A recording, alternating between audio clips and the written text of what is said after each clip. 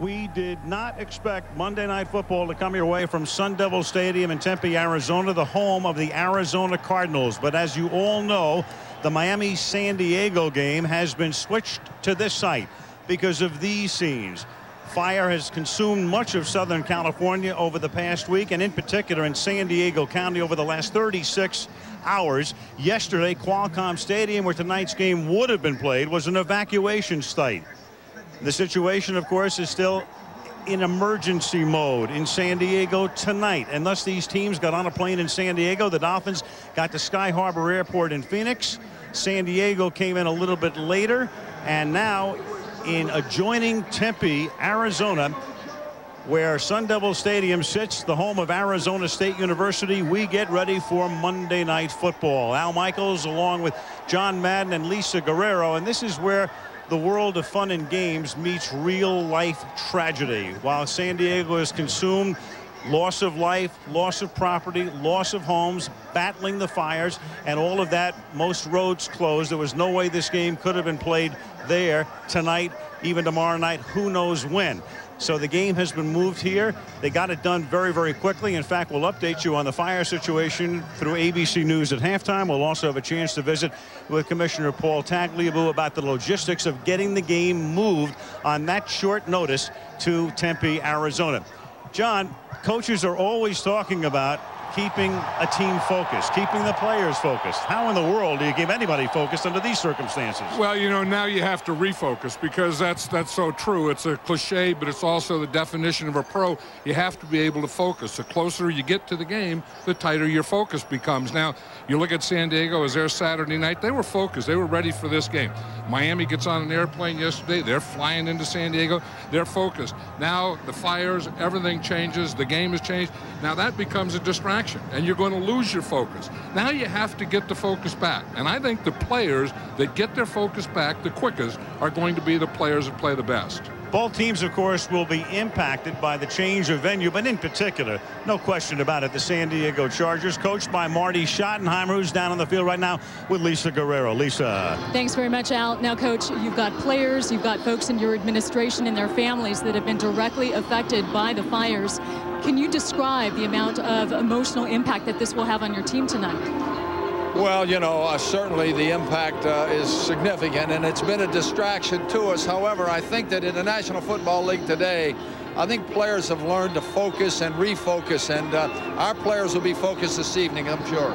Well, there's the human element of the fires, then there's the logistical issues involved with moving this game. As a coach, how can you help keep your team focused on the field for the next three hours? Well, you know, our football team has worked very, very hard the last couple of weeks, and while we've all been impacted by the tragedies back in San Diego, right now our focus is out here. Our players wanted to play, and it's Monday night, and we're excited about being a part of it. Good luck to you. Thanks very much, Coach.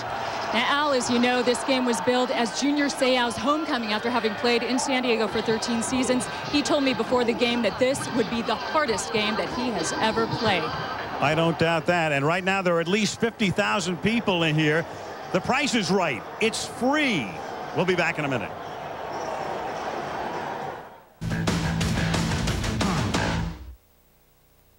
Thursday.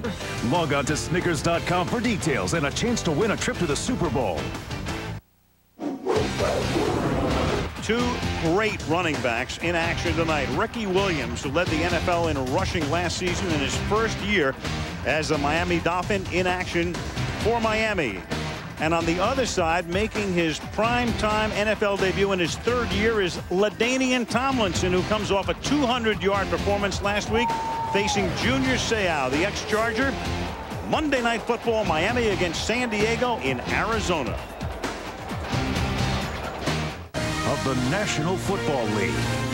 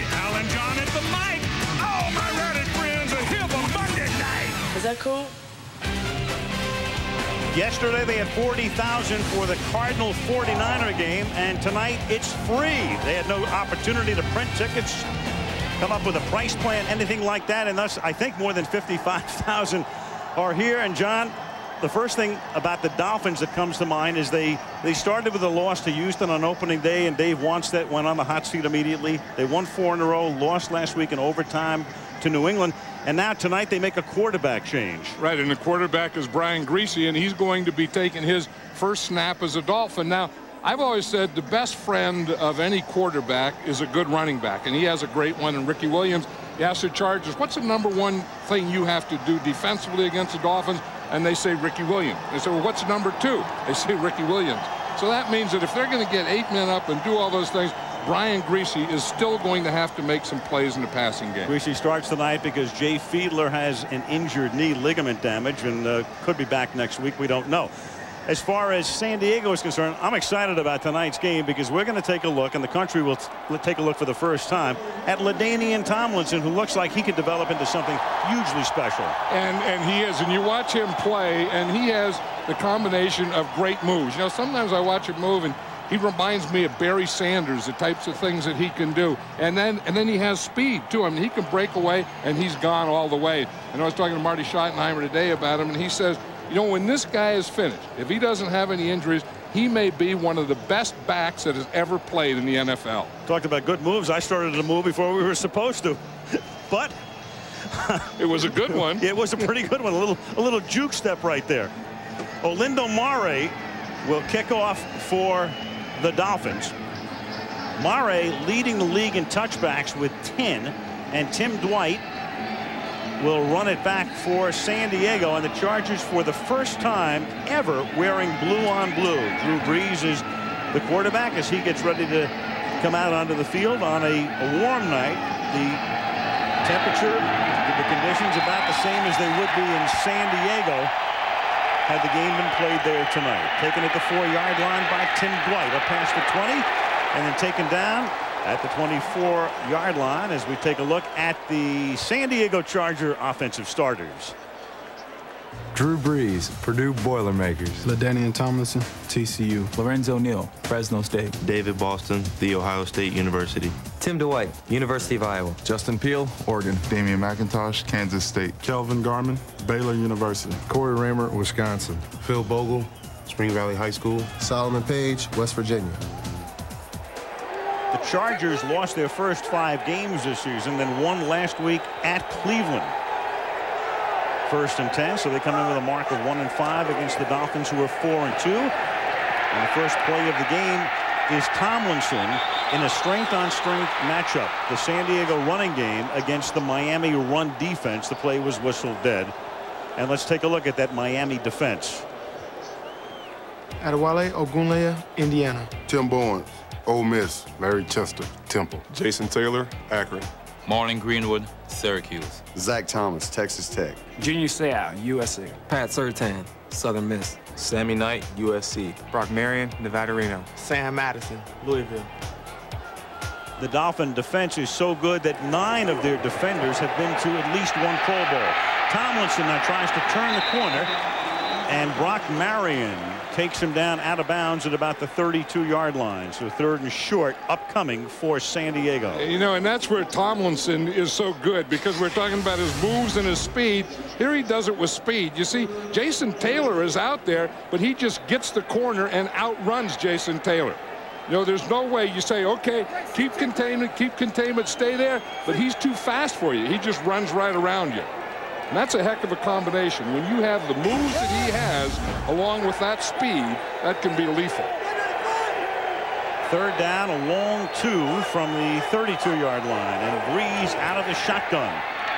Throws, picked off at the 38-yard line by Patrick Surtain. Inside the 20, Brees can't tackle him, and he finally gets rolled down at the six-yard line by Eric Parker. So on third and two, a pick, and Miami will have a first and goal in their first offensive series. You and Patrick Surtain read that slant all the way. you're going to see him. He just starts out and then he trails it and then undercuts it. He's out here in the outside, and you see he's underneath it, and he trails it all the way. So he was undercutting that right from the moment of the cut. But here you see he just runs right underneath it. He never did go for David Boston. David Boston kept gaining ground, and Patrick Surtain just ran right underneath. So 117 into the game. Brian Griese makes his Dolphin debut. Toe injury, ligament damage, left big toe in preseason, and he gives the ball to Ricky Williams, and Williams is tackled for no gain. Second down. Marcellus Wiley makes the tackle. The Dolphins, most picks since the year 2000, Darren Sharper with 23, and there's Surtain. That was his 19th. You know, and the guy on the other side, the corner on that other side, Sam Madison, they're sitting side by side there is pretty good too. And when you have two good corners, you can do a lot of things on defense.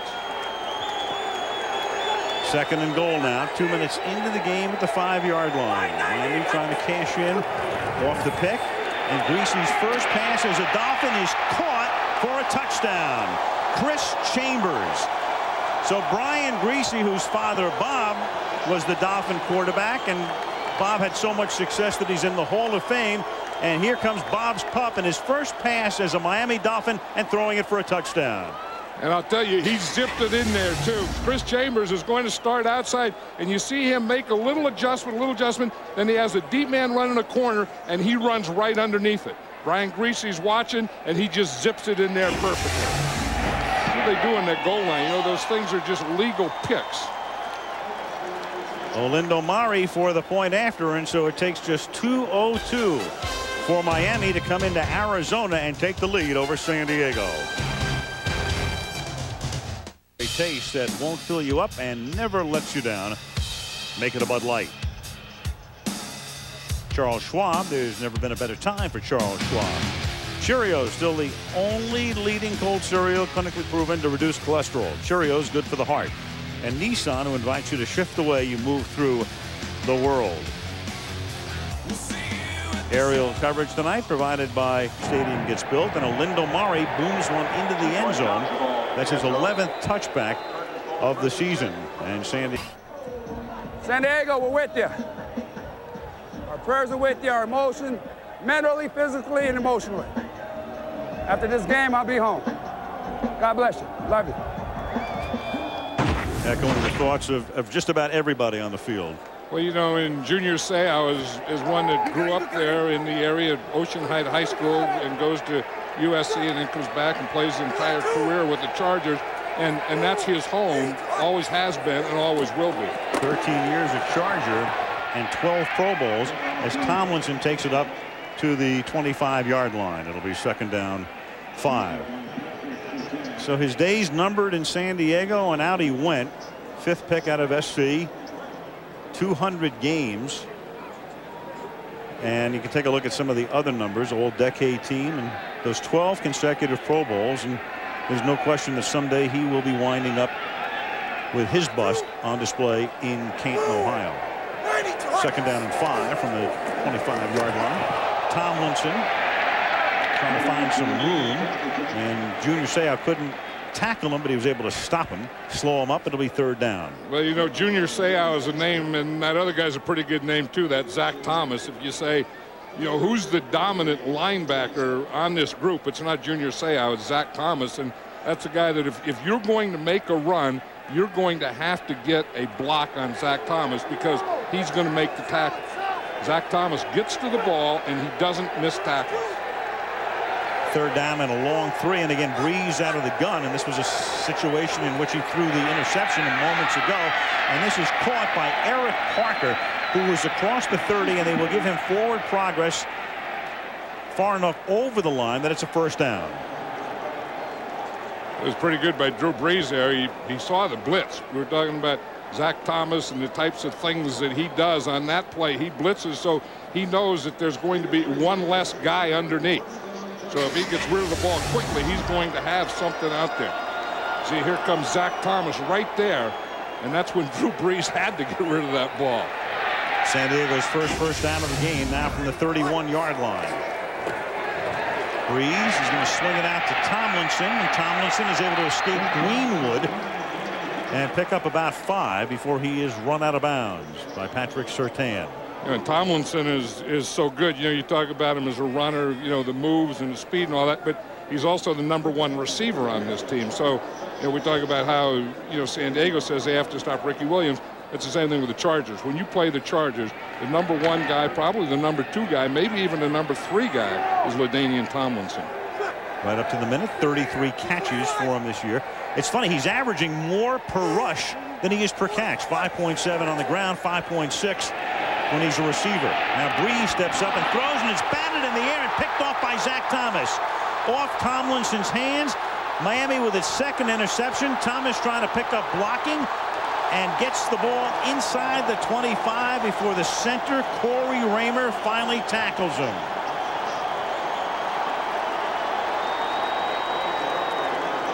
You know, and that Zach Thomas is is something, you know, we talk about how he plays against the run, but he's just a football player. He's always going to be in the right situation. Tomlinson is going to come in across here. And you see Drew Brees, he steps up, he's, he's working well in the pocket. Here comes Tomlinson. The ball looks like it hits right off his left shoulder. See, he steps up, steps up. Now watch the ball. It comes in, it hits off his left shoulder, up in the air, and Zach Thomas is right there. His first pick of the year, he had one interception all of last season, and it came against San Diego in Miami. Now Ricky Williams is going to try to turn it back and turns right into Kwame Lassiter, former Arizona Cardinal. You know, you hate to jump on something too quickly, but we were talking about focus you know, and having focus and then losing focus and, and then refocusing again. Don't you feel early in this game maybe that Miami has it more than the, the, the, Chargers do? No question. I think Miami has a distinct advantage with the change of venue. Not only the home field, but the emotional situation. Second down and 10 from the 24. And that is a low pass, but it's caught by Randy McMichael. And even though, John, even though both teams feel it emotionally and clearly San Diego with family and friends and homes and all of the rest. I mean it's uh, to them it's got to be magnified tenfold. Yeah because it's a real drain on them because if it weren't their own homes and then families or or or, or the friends they're affected directly or indirectly by this. Now Miami I think they had an advantage as, as you as you say they weren't but they were traveling too. San Diego thought they had a home game. Miami was traveling, so they just stayed in traveling mode. Just like they made one stop and came to Phoenix. And now Griese gets taken down at the 26-yard line by DeQuincy Scott. And a big play because it takes them out of chip shot field goal range into the 44 45 yard range. DeQuincy Scott has real good speed and they bring him in as as a defensive tackle, and you're going to see he's going to make a stunt move here. You see, he starts up and then he loops to the outside, outside the defensive end. So you say, how did he come from the from the outside? He didn't come from the outside. He started as a nose tackle. And this is a 44-yard attempt by Mare, who missed two last week. One at the end of the fourth quarter, one in overtime that could have beaten New England but he's perfect here, and he gives Miami a 10-0 lead. Broncos will take on the New England Patriots. The Patriots on top in the AFC East. The Pats winning yesterday. They're 6 and 2, and Miami is trying to stay a half game back if they can win this one tonight. Well, they let everybody in for free, as we said. We had no idea when they announced yesterday that this game would be held here. Our first thought was they won't put 5,000 people in here. I mean, who in the world is going to come to a game with these two teams on that short notice. How will they? And all of a sudden, well, they decided to let everybody in for free, and that's the ticket. Free will usually win. Free will do it. Tim Dwight up to the 23-yard line, and we're going to estimate right now. I'm thinking it's about 55 to 60,000 people in here. In a stadium that holds 73,000. As we said yesterday, 40,000 looked on for the Cardinal win in overtime over San Francisco. And when we come back, San Diego with a ball down 10 0. 18 that regular season mark and his defense which has played very well this season has been the story in the early stages tonight that was Surtain's fifth interception of the season then Thomas off the bobble by Tomlinson, and that led to a field goal. So it's 10 nothing thanks to the defense. And now San Diego tries to get something started from its own 23 yard line. And that was Jason Taylor either coming across the line or he was induced by Damion McIntosh. Ron Blum is the referee tonight. For the ball set. Ball start. Number 77. Offense. Five yards. Still first down. McIntosh. So many little stories tonight, among others. I mean, you can imagine the movement of people from San Diego into Phoenix. Among those, the officials. The officials had to get over here, so they wound up flying with the Chargers. And then their first call tonight is against the Chargers. First down and 15 from the 18-yard line. Here's Tomlinson taken down at the 20-yard line. You know, it's funny you talk about the the front defensive line of the Miami Dolphins, and their biggest player there is Jason Taylor, and he's a he's a great pass rusher. So we see one play where McIntosh jumps off sides, and that's because he has to block Taylor. So they know that on long yardage, Taylor is going to play outside. So that's when you want to run a draw on him. So they let him go outside, let him run up the field, and then they run that delay or draw play inside. And then the linebackers just get there and make the tackle. Second down and 13 from the 20-yard line. Brees under pressure, little dump off, and that goes to Lorenzo Neal, the fullback, tackled by Zach Thomas. Drew Brees, who's thrown those two picks tonight, grew up in Texas. He really wanted to go to Texas A&M, but wasn't recruited. They never gave him a sniff. In fact, the only school that really came after him, the schools were Kentucky, Purdue, and he eventually wound up at Purdue, and Brown.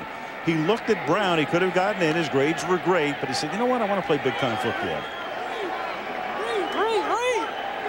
And this is what he loves. He was talking about the, the shotgun. He said most of his college days they played in the shotgun, so he feels more comfortable in this formation than up under center. Rolling out across the grain on third and 10, and he has the open man for a first down. He was able to prolong the play long enough that Eric Parker was able to zig and zag and then cut across the field.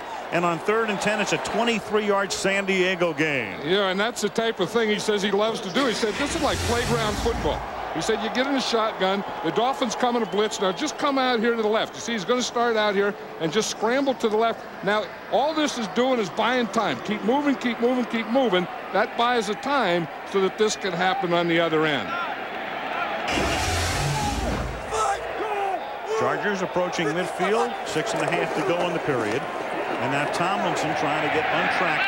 You know, the Miami defense, of the, you know, you can look at a lot of numbers.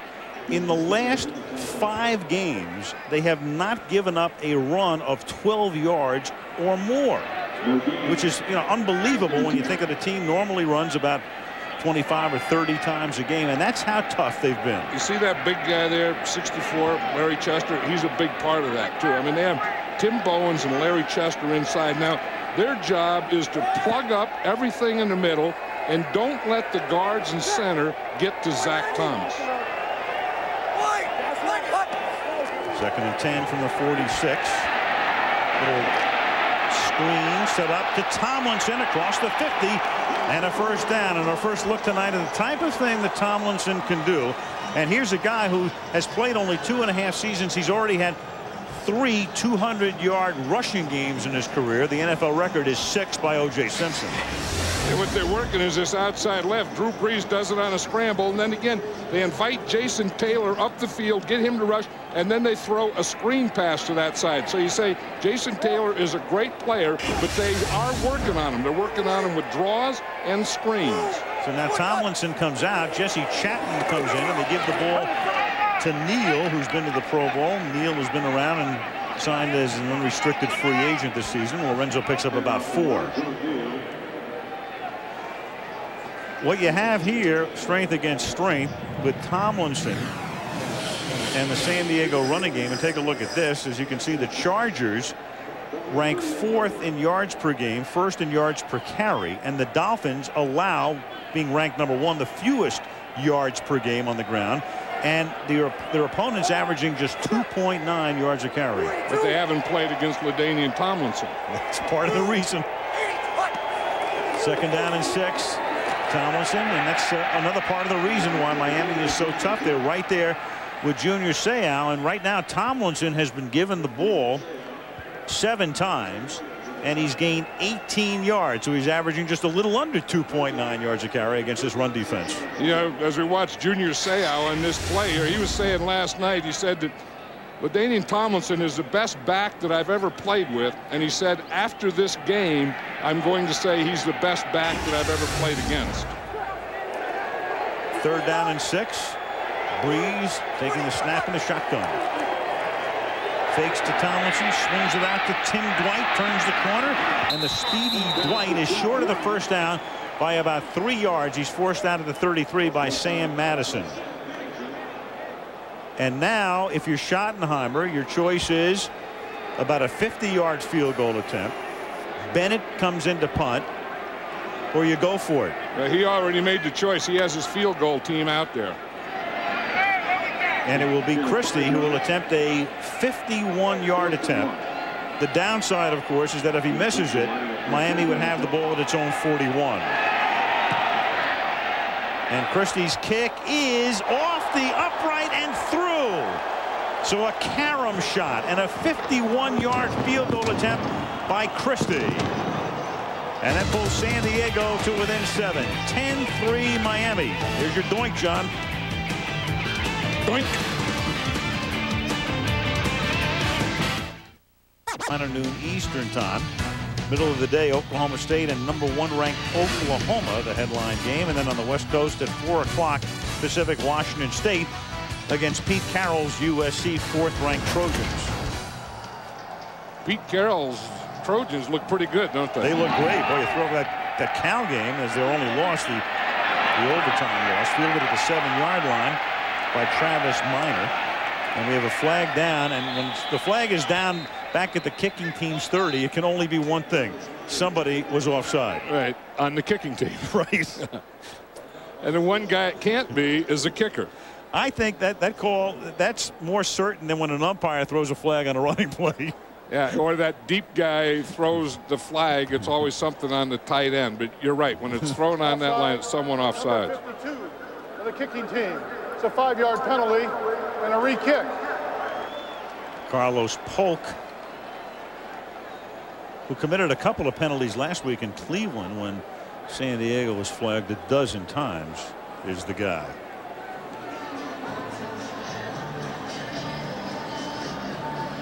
Yeah, we were talking about Junior Seau and the respect that he has for LaDainian Tomlinson. There they are before the game, and see all the guys in there talking about the things that they're going to do and have done and said and didn't mean to say and, and all those kinds of things. But you talk about a guy having respect for another guy. Junior Seau has as much respect for a football player than LaDainian Tomlinson as you can have. Well, this would have been Junior's homecoming in San Diego, as most of you know. It also would have been a homecoming for Ricky Williams, who grew up in San Diego and played his high school ball there. As Travis Minor takes it from the 11-yard line and brings it back up to the 35-yard line. And that's where Griese and company come out to take over with three minutes to play in the period. 10-3 Miami. Please leave your party at the north. Trying to get to the outside and taken down by Ben Leber. And let's take a look at this Miami offense. Brian Griese, University of Michigan. Ricky Williams, the University of Texas. Rob Konrad, Syracuse. Chris Chambers, UW. Derrius Thompson, Baylor. Randy McMichael, Georgia. Wade Smith, the University of Memphis. Jamie Nails, Florida A&M University. Tim Ruddy, Notre Dame. Todd Perry, Kentucky. Todd Wade, Ole Miss. Just for the record, Chris Chambers, University of Wisconsin, UW. When you hear UW, what do you think, though? I was at University of Washington. Yeah, me too. Second and 15. And this is Ricky Williams. Up past the 40 to the 41-yard line. And let's take a look at the San Diego defensive starters. Marcellus Vernon Wiley, Columbia. Jamal Williams, Oklahoma State University. Jason Fisk, Stanford. Adrian Dingle, Clemson. Ben Leber, Kansas State. Zeke Moreno, USC. Donnie Edwards, UCLA. Quentin Jammer, Texas. Kwame Lassiter, Kansas University. Jerry Wilson, Southern University. Sammy Davis, Texas A&M. How proudly did Wiley say Columbia, huh? very, very. Third down and four from the 41-yard line as Griese throws off his back foot, caught, and that's James McKnight converting on third down to move the chains, and he's tackled there by Sammy Davis, who was their number one pick out of Texas A&M. Yeah, and that was way too much room on a blitz because you know that you have to be man-to-man. -man. See, they're coming on a blitz. So look at this cushion right here. You know that anything can happen in this area here, and it can't be a zone. See, it's man-to-man -man because it's a blitz, and he was just playing off way too far. And if you're going, you know, at, at some point, if you're going to blitz, you want the quarterback to have to get rid of the ball quickly, and you want to get up and press him. Now going to throw to the sideline, and that's caught there by Chambers. And there's a huge difference between these secondaries. Miami has four guys in the secondary who've been to the Pro Bowl. San Diego has four guys, all new starters. Three entirely new, and then last year, Jammer started for only part of the season. Right, I mean, play before we saw Sammy Davis playing off. Now we see Quentin Jammer playing way off. You see that cushion he gives, and he's turned and looking back to the inside. And if he plays like that, the Dolphins can run that out pattern all night. And Jammer was a number one pick in 2002. So they're picking on the number ones, and they'll go that way again. And this time it is caught by James McKnight, and he is close to a first down. Well, we're talking about doing it all night. They're going to do it all night if they play off that far. Brian Griese, a perfect beginning six of six for 62 yards. And like father, like son, they become the Grieses do the first father-son combination to play quarterback for the same team. Bob, as I mentioned before, in the Hall of Fame. Brian coming over after five up and down years in Denver. Brian was bragging last night that his college team beat his dad's college team on Saturday. And this is Williams close to a first down. And Ricky Williams close to the yellow stripe. Just outside the 10-yard line. You know, sometimes they say that Ricky Williams doesn't run hard enough, hasn't been running hard enough. He's a very powerful guy, and, and this offensive line of the Dolphins has been inconsistent. But if you give him a little crack or you give him some room and you get on that second level, he's going to make runs. If you don't block for him, no one's going to make runs. It's second and one when the second quarter begins. End of one in Tempe, Arizona. Miami 10, San Diego 3, and Monday Night Football is back after this message and the words from our ABC stations. Ferrero Sun Devil Stadium, Tempe, Arizona. Most of you know if you're just tuning in late. If you don't know, this game scheduled for San Diego, obviously because of the situation there, and we'll have an update from ABC News about the fires at halftime. Moved on very short notice here, and the second quarter begins with Ricky Williams picking up a first down to make it first and goal. And John, they were able to pull this off in about seven hours. Paul Tagliabue called the Cardinals. He talked to Mike Bidwill yesterday, the vice president general counsel, said, I think we have a problem in San Diego. And seven hours later, they announced they would be able to, to pull it off here in Tempe. Yeah, that was amazing because we didn't know it until 7 o'clock last night. And then and then that whole thing was pulled off before that. We found out at 7 o'clock last night. And then and just, just think of the adjustment that all these people had to make here, plus these teams had to make. Swing it out to Williams. Bobbles, juggles, catches it. Tackled by no. Donnie Edwards is able to jar it loose. Geographically, you can see the, the icons there indicating the fires raging around San Diego. Qualcomm Stadium to Sun Devil Stadium 308 miles so it's about a 50 minute flight. Dolphins came in this morning. Chargers actually landed a little after 2 o'clock mountain time with a 7 o'clock mountain start. Went to a hotel met in the ballroom had a pregame meal and came right out here. That was Griese's first incompletion. Now he gives it to Ricky on the ground. Ricky hesitates wanted to go right so that was jammed up, goes left, and takes it to the two, where he's tackled by Zeke Moreno. You know, the thing that Ricky does so well is, is he has power, but with his power, he has great balance. And you think he's down. I mean, you watch him here. He's going to hit in here, and then he just keeps going because he never stops his feet. You see, he gets here. It's a little delay play. He's going to try and hit what he calls the A gap. He lets them declare, lets them make a move, declare where they're going, and then he goes where they just left from. She came. Third down and goal. From the two. Griese throws. Caught. Touchdown. James McKnight. He got position on the former Dolphin Jerry Wilson who's been playing well for San Diego. Makes the catch just across the goal line and Griese has thrown his second touchdown pass of the game. And Brian Griese is perfect. We were talking to Norv Turner last night. He really felt good about Brian Griese. And we're going to see McKnight as the inside receiver. And you see one just runs up the field and McKnight rubs off him and runs a quick out. Mare for the extra point. And so Jay Fiedler's knee sprain gives Griese the opportunity to make his Dolphin debut. And he's thrown to the end zone twice, 17 to 3. It's 17-3 Miami and Olindo Mare will be kicking off. Doug Flutie had been the quarterback up until two years ago and then Brees took over and Doug who just turned 41 last week is the San Diego backup and very comfortable as a backup and really helping Drew Brees out. You know, he's accepted that role and he's enjoying it and he's playing it very well. Tim Dwight, former Falcon from the goal line. And the one-time Big Ten sprinter up to the 27-yard line. Again, Junior Seau mic'd up. Let's listen.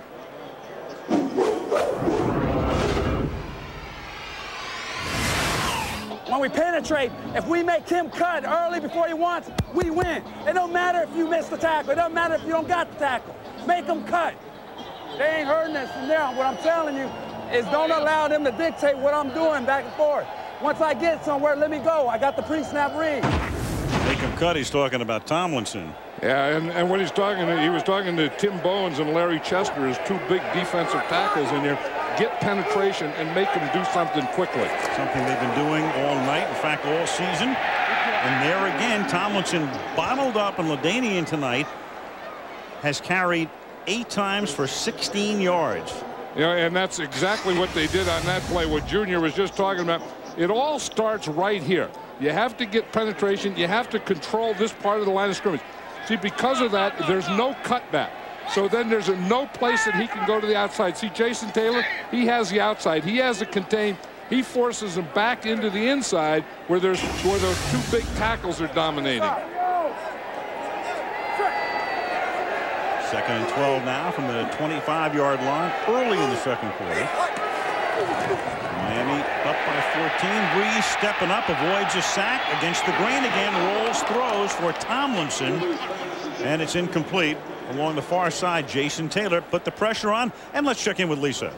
Hey, Al, when you talk about the San Diego sports community, two men stand out above the rest, Tony Gwynn and Junior Seau. I talked to Tony the other day, who is now, by the way, the baseball coach at San Diego State University, about the impact that Junior had on that community. He said, look, his impact on the field was obvious. People uh, thought that he was a great source of pride for the Chargers, but his impact outside the lines as a community leader was impressive. He also said, Tony, that he was very, very upset when he was traded.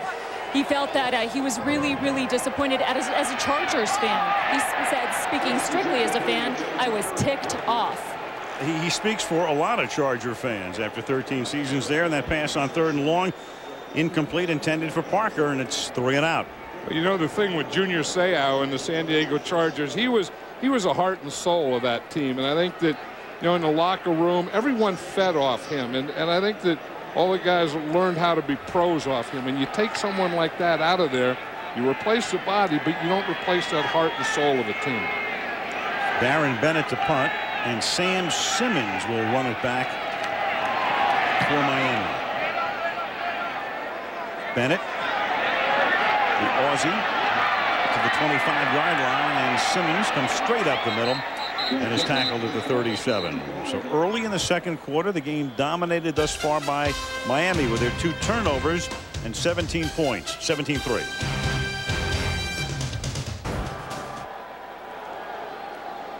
There's a, a Tomlinson, a young Tomlinson fan. I'm trying to get a, a feel for this crowd as to which team they're rooting for.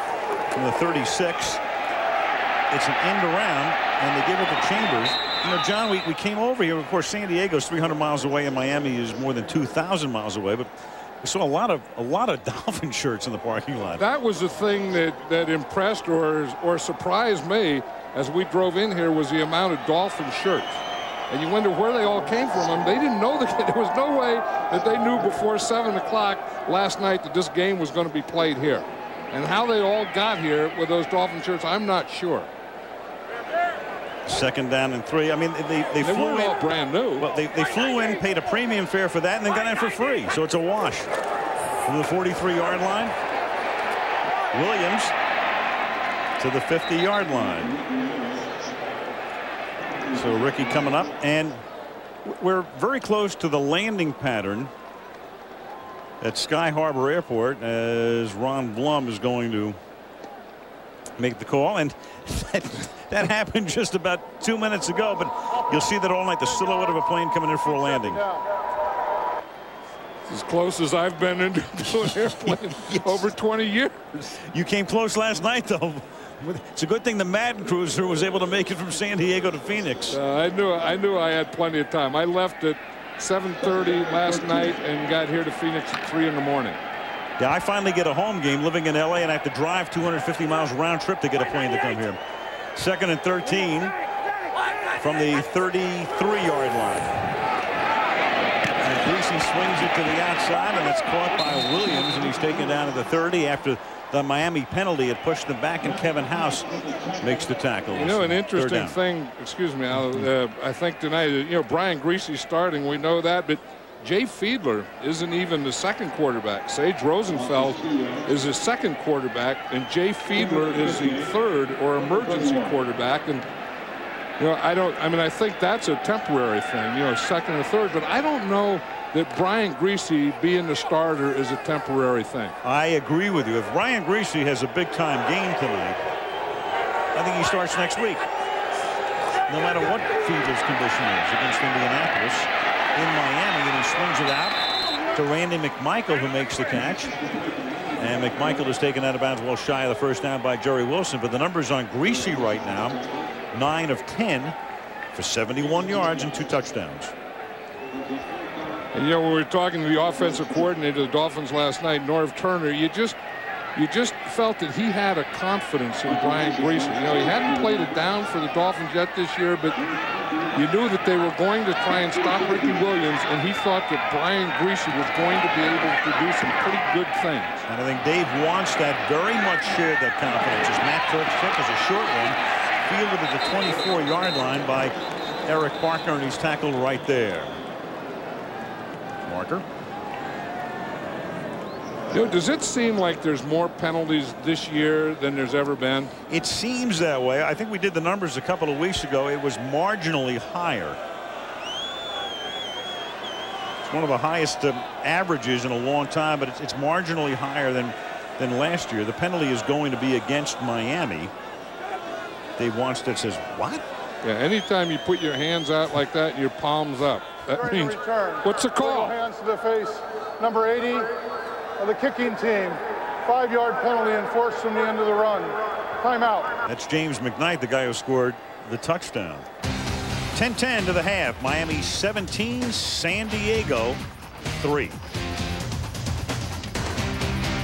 Was hosting the New England Patriots, making their only Monday night appearance of the season. ESPN Sunday night. That's a good one. Packers against the Vikings, who suffered their first defeat yesterday to the Giants as Tomlinson moves forward for about four. LaDainian Tomlinson, number one pick, played his college football at Texas Christian. And since coming to the Chargers, and it's a little less than two and a half seasons, you can take a look at some of the numbers he has put up and where he would rank among guys at that particular point in their career the first over the first two years. But tonight against this Miami defense which has been brilliant throughout the season nine carries for 19 yards.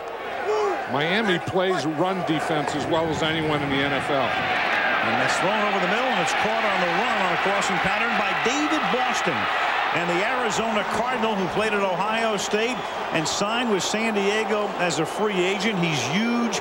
He's fast. He's also mercurial. He was suspended earlier this season because of conduct detrimental to the team.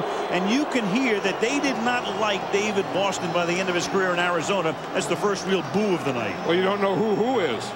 right. you think those who are the people that are Cardinal fans because you know, when San Diego got him, he was supposed to be something special, and I thought he was too. I thought he was really going to help this team because, as you said, he's big, he's strong, he's fast, but he comes in there and then he gets an injury, and then he comes back, he gets suspended, and they have a bye. They've never gotten on the same page, he and Drew Brees. 28-yard reception, and that's a gain of three, but he shows his brilliance in games like following the suspension against Jacksonville when he had a huge game catching 14 passes for 181 yards and there you can see the numbers that tremendous season with Jake Plummer throwing him the ball in 2001. Well, there's no question that David Boston's a player. You know, and, and the thing is you have to you get him in the system and he has to, you know, as they say, he has to keep his head on straight or do those kinds of things. And then, you know, he can play this game at a very, very high level. Second down and seven from the 35-yard line. Brees swings it out, caught, Tomlinson steps out of a tackle and steps out of bounds at the 26-yard line. Morlon Greenwood couldn't make the stop, and he picks up a first. So eight minutes to go in the half. San Diego trying to answer the Miami drive down 17 to 3. You know, I was talking to Tomlinson the other day and I asked him if he's always been a running back. He said no. And Pop Warner, he said the coach wanted to make him a quarterback. And he said I'm not a quarterback, I'm a running back. And the coach says, look, you're going to be a quarterback, you're just going to run the ball every place. It'll be the same thing. First and 10 at the 25-yard line. Tomlinson, a spin move, but he was stopped in the backfield early by Larry Chester. And let's check in with Lisa. Al, David Boston told me the other day that his outbursts this year were because of frustration with his own lack of productivity. Now, when I asked if he was comfortable with Drew Brees as his quarterback yet, he said, I'm comfortable with Drew. I just don't think that he is comfortable with me. His other source of frustration was the, quote, lethargic way the Chargers are practicing. In his opinion, Wednesday through Friday, he said, we don't prepare like we want to win. I also have an injury update for you, Al. The Chargers' Sammy Davis was just carted off the sideline with a left ankle injury. Mm. His return is questionable. He's going into the locker room right now for further evaluation. So we'll keep an eye on whether he can return or not. And the sound effects behind Lisa was a guy came out, a streaker came out onto the field and was summarily escorted out. Second down and 10 from the 25-yard line. Is that guy naked? I thought he was. I did too. We are so high, and we might as well be calling this game from the blimp. It's thrown out of bounds, and it will be third down. He actually had his shorts on, I'm now told, by people who were closer to the situation. And I'm not I'm not dissing my alma mater here, but you know we're on a college campus, and I think half the school has to be here tonight. I'm not saying the guy comes out of, you know, Arizona State's uh, academic program, but but I would say the odds in Vegas are about three to five. They were they they were wild down there tonight. I was I was there earlier. Was illegally downfield. It's a five-yard penalty. Repeat second down. I think the guy was actually from the University of Arizona. Well, you know, it was like a big fraternity party down there about two or three hours before the game. I think they just brought a party in and, and brought it in here. The other guy that makes this play is Jason Taylor. Watch him on the line, on the end of the line over here. Here he is. Excuse me.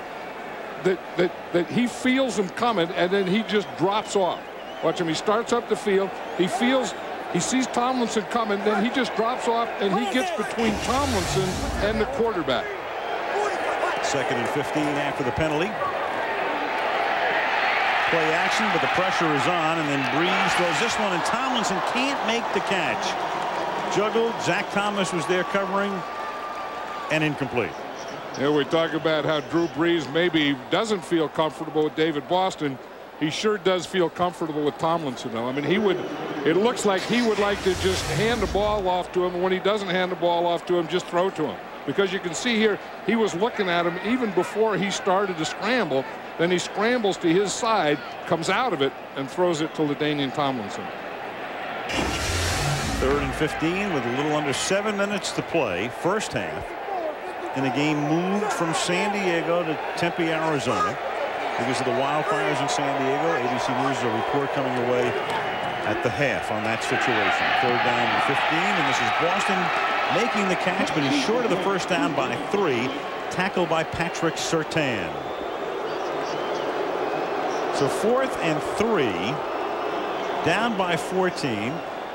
A team that's having difficulty scoring. And what's Marty going to do right here? It looks like he's going to go for it. Well, he's going to call a timeout for Yep. starters. That's that's what he's going to do because he didn't put his his field goal team in, so he's either going to go for it or take a timeout and talk about it. Fourth down when we come back. A touchdown pass to McMichael. And it's been all Miami on both sides of the ball. Yeah, and I think I think the Dolphin fans and the Dolphin coaches and Dolphin players have to feel real good about Brian Griese. I mean, just just watching him out here in this first half, and I know he had good field position. He got the lead. He's playing with the lead, but he looks so comfortable and cool out there. He looks a lot different than when he was struggling at Denver. Well, I mean, Jay Fiedler with a sprained knee, and it's it's he really does have one. But how in the world if Griese plays fairly well even in the second half? How do you make a quarterback change if Fiedler's healthy next week? I don't think they do. I mean, I you know I said earlier that that I don't think that this is a temporary thing. Now, if Brian Griese doesn't play well or if Brian Griese gets injured again, then it could be temporary. But I think if the if the Dolphins win and he keeps playing like this and playing as as comfortable he is and as confident he is, he's going to be the Dolphin quarterback. I don't think people realize. I mean, Miami, if they win tonight, how close they would be to being unbeaten. I mean, they lost to Houston at the end of the game. I mean, a shocking upset on opening day. Last week they had every chance to win, and Mare missed two field goals that would have won. They're that close to being seven and zero. I think the Dolphins, it's all about what they do in the playoffs. I mean, it's, you know, getting there is one thing, but I don't think that's enough. I mean, I think the Dolphins have to get to the playoffs, and I think they have to win in the playoffs to really be considered successful. Absolutely, I agree. As they try to bring a, a second world title to South Florida following the Marlins last week. 24-3 Miami in the second half coming up from Arizona after this. One great benefit of going to school here is that on the last Monday in October, John, you can do that at about uh, 6:45. No, what is it? It's uh, 8:45 local time. Yeah, there's a couple swimmers in there now. Now, if you go across this way, that's a short course, and if you go this way, that would be the long course. Is that it? Uh, yeah. But we have to go through here to go the long course, right? Uh, yeah. So I guess I have you, no didn't, clue. you didn't swim much down here in, No. the, in the long course. No, I did a few other things. Well, did you swim the short course? Once in a while, we'd go swimming at about 1:40 in the morning, but they didn't have that center there at this particular time. Look at that pool. I mean, you could you could swim across. You can go across this Right. way. You can go across this way, right? You could go down this way, and this thing could break you. Or can you get through here? You think? I don't. I think you can do well. I know you can do water aerobics, deep pump. I don't know. I see a lot of lines, and anytime you see a lot of lines, it has to be confusing to someone. I, I guess you you could play water polo, and then you've got all of those tennis courts. And the facilities here are, you know, fantastic uh, because Arizona State has a long and storied baseball tradition. Don't forget Reggie Jackson, Sal Bando, and Rick Monday went to school here. And Reggie Jackson was a very good defensive back. I saw that with my own eyes, John. You know, and I always, I never saw that with my own eyes, but my own eyes. But, but I believe it. Just watching Reggie Jackson, you know, play baseball when he played for Oakland, the Yankees, and all those teams, I always thought he looked like a baseball player that was a football player. He was a starting cornerback for Frank Kush. You, there's only one golfer that I know that really played true college football. Mike Scifres' kick. Travis Minor.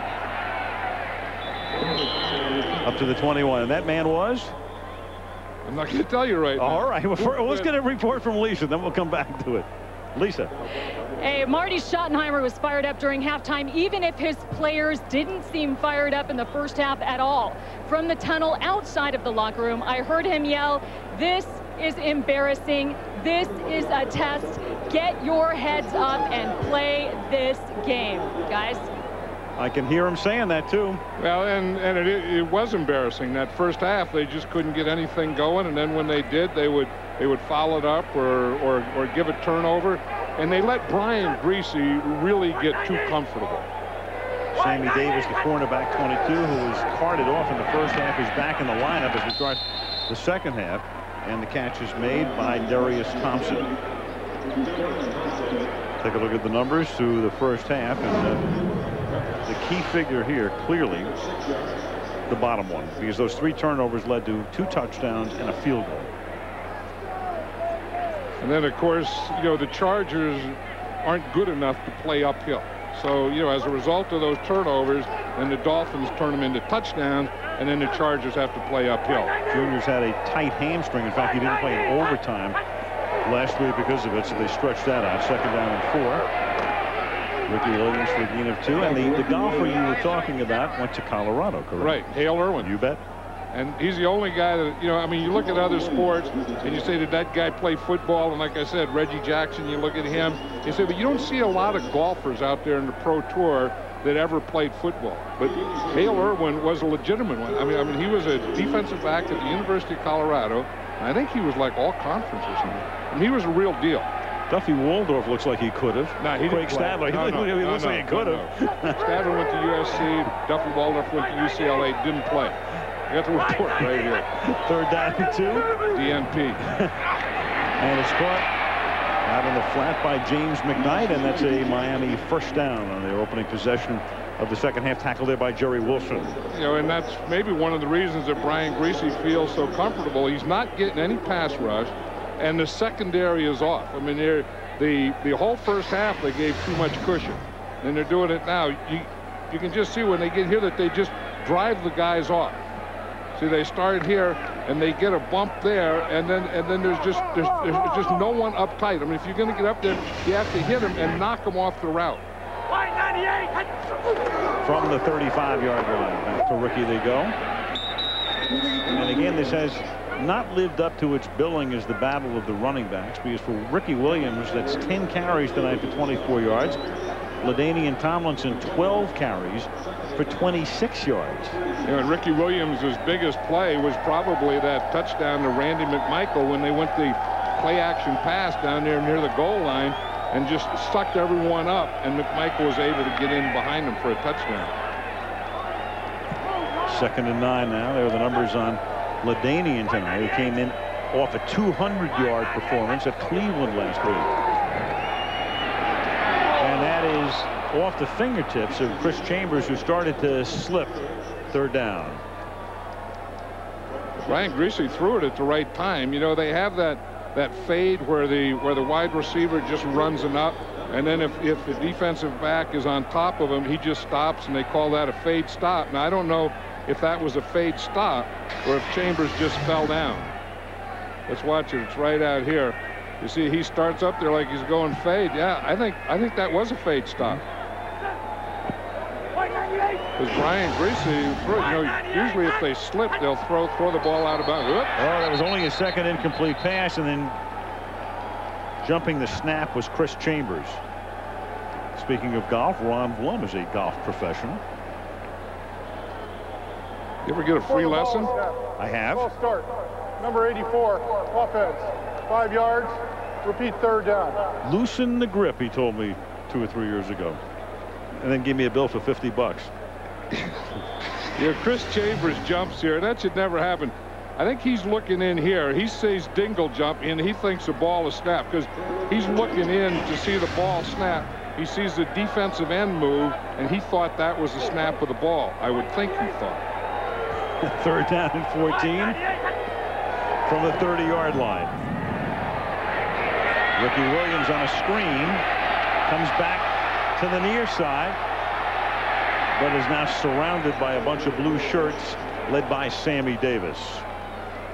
Adrian Dingle made a nice play on that one. He, he, he came all the way from the right defensive side all the way across the field to get Ricky Williams to stop and change directions. Matt Turk comes in now for his second punt. Matt Turk has good posture for a punter. Big 6'5", 250. Yeah, straight his back is. Yeah, look at that. it has to be. He has to be 6'5". And he's going to take off with it. And now he's going to attempt to throw it. But instead he's going to run with it. And he gets it up to the 39-yard line. But he is still about six yards shy of the first down. So that was going to be a kick. And then a run. And then a pass. And then a run. And Jeff Grau with the snap and when you snap one over a guy who's six feet five, that's a bad snap. Yeah, I think he still could have punted it though. There was no there was no rush. There was no punt block on. Watch him. The ball is snapped at 12 o'clock. But, but but he gets it here. Look, he has plenty of time. There's no rush. He could have just taken a couple steps and kicked that thing. They set up a return. He needed 13 yards and he got seven. And so San Diego with a golden chance if they're ever going to get back in the game, it has to happen right here. From the 39, it's a double reverse, and Dwight puts it in his left arm, and Dwight slips down the sideline and picks up 10 yards. David Boston had it first, and then he gave it back to Dwight. You know, and that's the type of thing you think they have to start doing some of these things on first down. You know, that anytime you get good field position, you get a turnover, this is when you go for that type of play. Tim Dwight has speed and is a good open field runner. He just runs out of real estate over there. But I think they have to do some of those things. Plus, they have to start throwing a little more on first down. The Chargers do. A little short of the first. He gained nine. Down and one from the 29-yard line. And Tomlinson tackled after a very short gain, close to a first. Spot the ball at the 28-yard line. The big guys for the Chargers tonight. Brees, a forgettable first half. Tomlinson, a forgettable first half. Boston, three receptions for 57 yards on the other side. Griese, a great first half. Ricky Williams, not much there numbers-wise. Chambers caught three, including a 51-yarder and a touchdown. Yeah, those are the two things I think the Chargers have to do is start throwing more on first down and get the ball to David Boston. Here's the first down play, and he will throw, and he swings it to the outside. And that's Tomlinson, and Tomlinson steps out of bounds a yard or two shy of the first down at the 18-yard line. Yeah, it's a lot easier. I mean, the first half, I thought that, that, that San Diego was in a rut, that they were running when they were supposed to run, and they were passing when they were supposed to pass, and they were just playing right into the Dolphins' hands.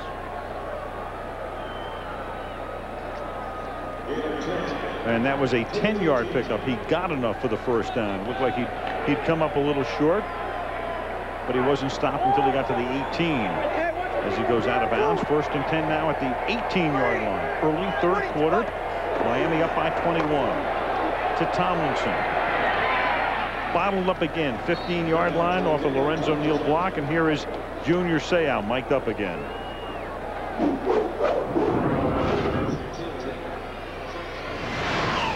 Run! Run! We gotta run! We gotta run! We gotta run! Go ahead, go ahead, baby. Yes! Play! Calling that play. Junior Seau thinks that he knows what they're going to do, but I will tell you this about Junior Seau. He's been known to guess. Here's Tomlinson inside the 10 to the nine-yard line. Yeah, that's the way. I mean, he's played that way for years, and he will blow up things. I mean, if he if he guesses right, he's going to meet you in the hole on your side of the line. Again now, San Diego in the red zone, where they've been the worst in the league. Miami defending in the red zone, where they've been the best in the league. Last time San Diego was down here, Surtain picked one off in the end zone. Third and one from the nine. I think this is a running situation. Tomlinson. And he gets stopped again. That Miami run defense is fabulous. Brock Marion comes up from safety to stop him. You know, one of the things we had on Junior Seau mic'd up where you said, you know, make him cut right away. Don't let him cut when he wants to. Dictate when he's going to cut. Watch it right here. You see, he wanted to make that cut there, and he couldn't. He was forced that he had to go right into the defenders.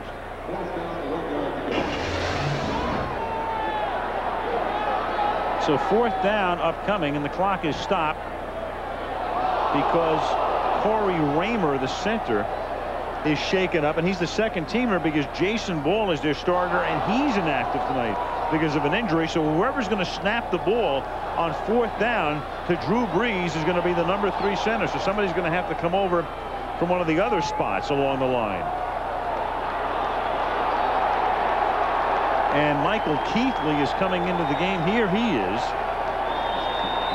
Listed as a tackle, but he's going to have to be the center on this play.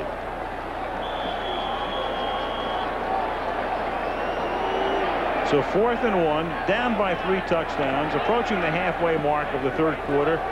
No time for a field goal. I wouldn't expect a straight run here. I would think something off a straight run. A toss. Tomlinson, can he turn the corner? He cannot. And again, San Diego inept in the red zone, and the Dolphins terrific. I think that was a combination of the two things we know about Miami. Great in the red zone and great against the run. Number one in the NFL. Still a 21-point game. Sun Devil Stadium, Tempe, Arizona. Miami on top 24 to 3.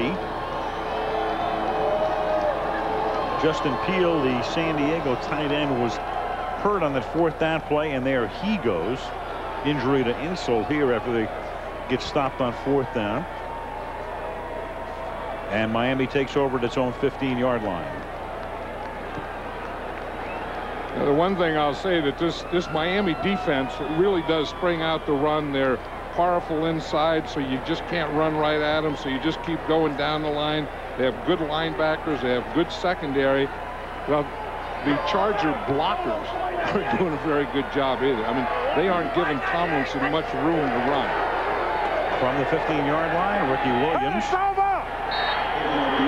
Yard and a half. You know, one of the things that, that they were talking about is having the wide receivers block the corners and let Tomlinson deal with the safeties. But the wide receivers have to do a better job than this. Here's David Boston. Now he's trying to get position. And in doing so, he let Patrick Surtain just run right by him. I mean, you just got to go and get up on the guy. Do something. Don't let him get a free run at your guy. On a fourth down play. Second down and nine from the 16-yard line.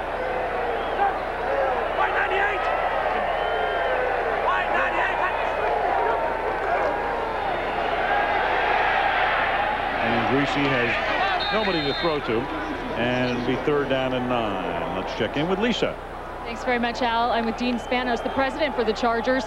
Dean, I know that so many people in the San Diego County community were affected by these fires, continue to be affected by these fires. Was there any thought at all given on your part by canceling the game rather than just changing venues? Uh, there was a lot of discussion of it yesterday, and I talked to Coach Schottenheimer two or three times. He got some feedback from the players, and they felt like they wanted to go ahead and play, and uh, give it their best today, so that's why we're here. And he thought it was in the best interest of the club.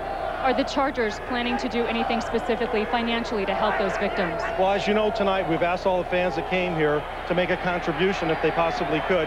And my understanding is our expectations are that we might be able to exceed $500,000 tonight. So with that, we hope in the next few days to come up with a definitive plan to complement that to help the victims in San Diego.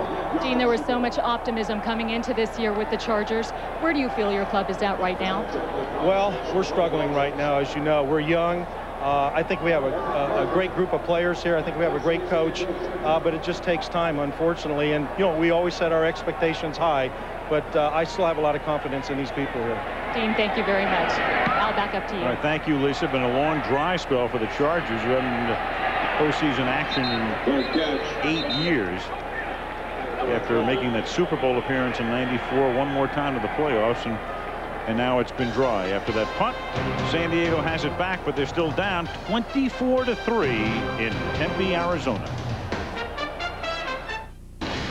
Next Monday to Mile High we go. The Patriots on top in the AFC East. The Broncos with Plummer hurt, Beuerlein hurt, Danny Kanell yesterday in Baltimore. They lose to the Ravens. They're home next week, always tough at Mile High, against New England on Monday Night Football. On first and 10, they swing it out to David Boston. And with a marker down, he is taken down at the 47 yard line.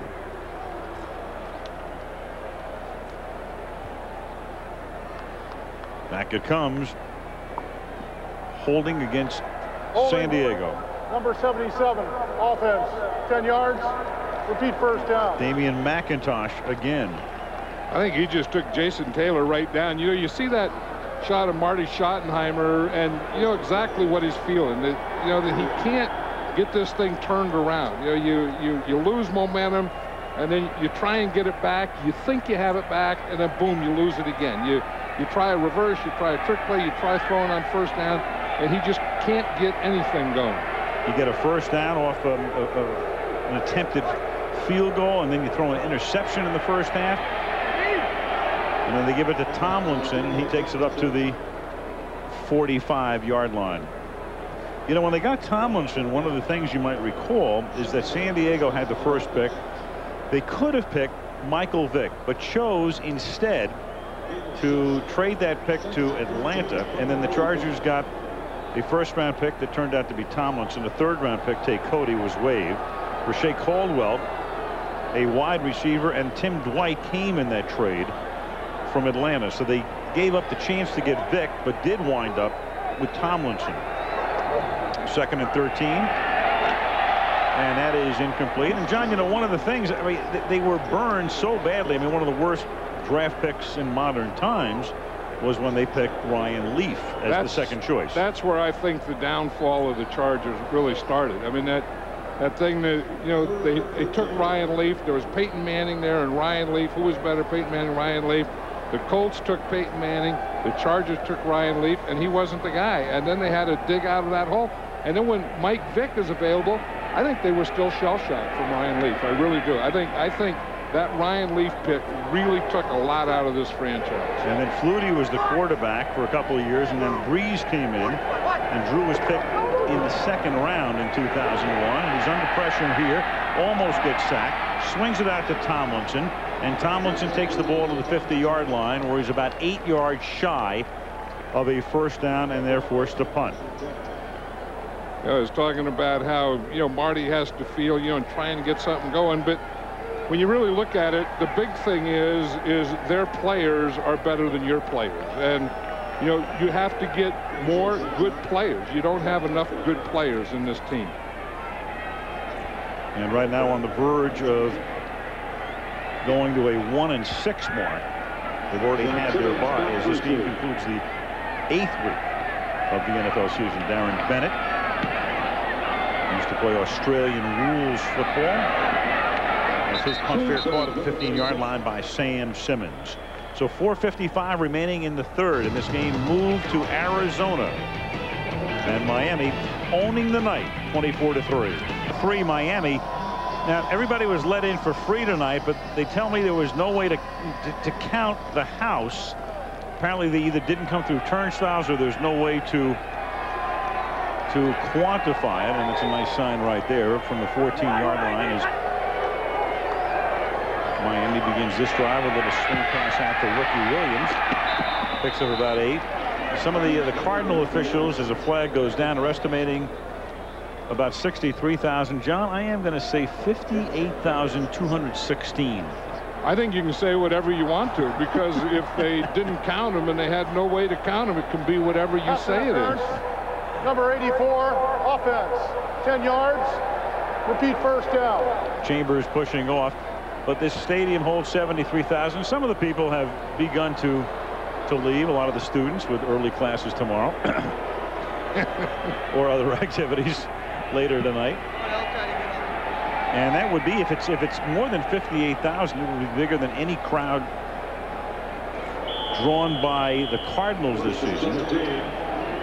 Yeah, MNFOA, very nice. Thank you. I got I got tickets, John, for all my old professors tonight. That's that's a way to pay him back. I can see that. Come on, all of you. Come on, come on down. Be my guest. Come one, come all. Plenty of good seats available. First and 17 after the penalty call. Williams to the 10. You know, I see Sammy Davis, the, the rookie corner for the Chargers, is back in there. Remember earlier we had him going off, and whatever he had, it must be better now. You talk about learning on the job. Sammy Davis is learning on the job. He was a first round pick, you know, and a and a good player. But when you're a rookie corner and you're playing on a team that doesn't have a good pass rush, they are going to test you. Get a guy named Sammy Davis and Jammer on the other side. This defense ever turns into a, a big-time defense, they'll be known as the Rat Pack. Second and 14, they give it to Williams again, and Ricky picks up five up to the 15-yard line. Third and long coming up. Gene Smith is the athletic director at Arizona State, and Mike Chismar is the associate athletic director. And those guys were extremely instrumental in being able to, to do this. As we said, the NFL office yesterday didn't even contact the Cardinals until uh, their game had already begun against San Francisco. And somehow within seven hours, they were able to, to figure out a way to get this thing played tonight. And I think kudos have to go to all those people. I mean, this is just amazing how, you know, at 7 o'clock last night, you didn't even know there was going to be a game here. Third down and nine. Griese throws and reaching up Mm, did he make the catch? No, he didn't. Derrius Thompson couldn't hold on incomplete. They were just thinking the same thing we were talking about. We were talking about Sammy Davis over there, and and, and if you're going to take a shot, you want to take a shot on a rookie corner. You know that they're going to do it. He plays it pretty well, except the, the thing that he has to learn is turn your head back. You see, if you're if you're playing into the guy and you don't turn back, they're going to call pass interference on that more than not. In fact, I think he got called with, uh, on, on, one last week. I'm sorry. He. Fourth down. Turk to kick. Eric 40-yard line. Good punt coverage by Miami. They're good in all phases of the game tonight. Corey Jenkins and Tommy Hendricks are there after a 46-yard boot. 2.49 left in the third. 24 to 3 Miami. Miami as San Diego takes over at its own 41-yard line. 249 remaining in the third quarter. And Brees begins taking to Tomlinson. Rolling. Chase by Chester. Picks up the first down about nine more. You know, John, I've been with the show for 18 years, and we've had technicians and other people like Drew DeRosa who've been with the show since the top and I know it's their job, but I mean, to do what these people did under these circumstances is phenomenal. Stu, Stu Strelzer, and there is Drew, Bob Simon, Keith Keiss, Pat McGowan, just some of the guys who were all in San Diego up until 10:30 last night, and somehow, some way, with about an hour's sleep, get into Tempe, Arizona, and make this look like a regular Monday Night Football game. This crew is phenomenal.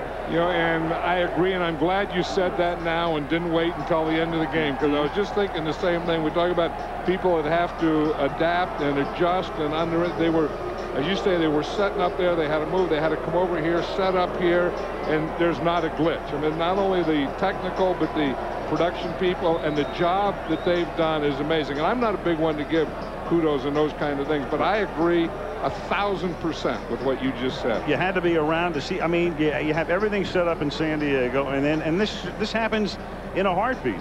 And away they come as they attend to to Larry Chester, who was chasing on that play, chasing Brees as he gets up, and, and to Fred Gaudelli and to Drew Esocoff, our producer and director, and what they did, and to Vinny Rayo, who was off the charts, great. I mean, what? And Zach, and Zach, who would have been running up any up and down any sideline. He had to carry all that stuff from San Diego. Ball is being brought to you by Coors Light, the official beer sponsor of the NFL. Cold down easy. The Hulk own the two-disc DVD or video tomorrow. Dell flexible enterprise solutions that are easy to buy, easy to own, easy as Dell. And Dr. Pepper and your local Dr. Pepper bottler BU, nothing's better. Dr. Pepper. First and 10, San Diego. And there's a flag because Jason Taylor is so quick. He was too quick right there.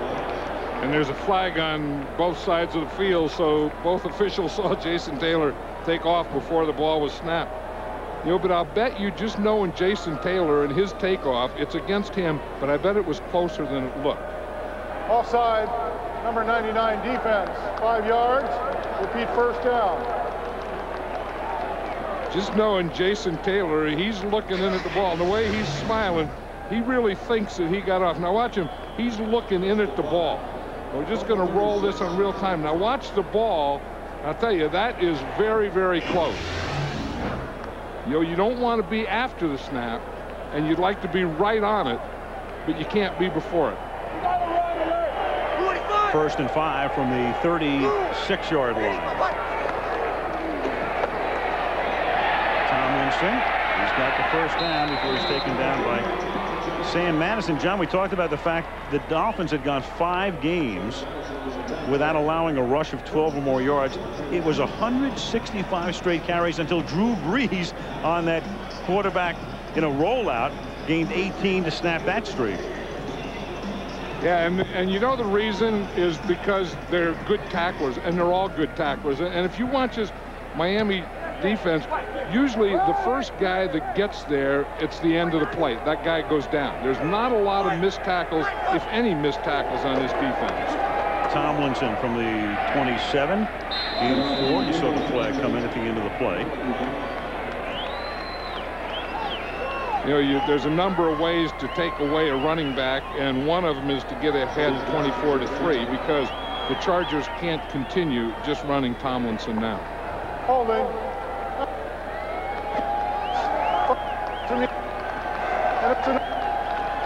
Well, it's defensive holding. That's an automatic first down.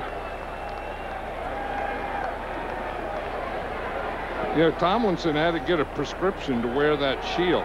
You can, you know, you can wear a regular shield, but you can't wear a tinted shield.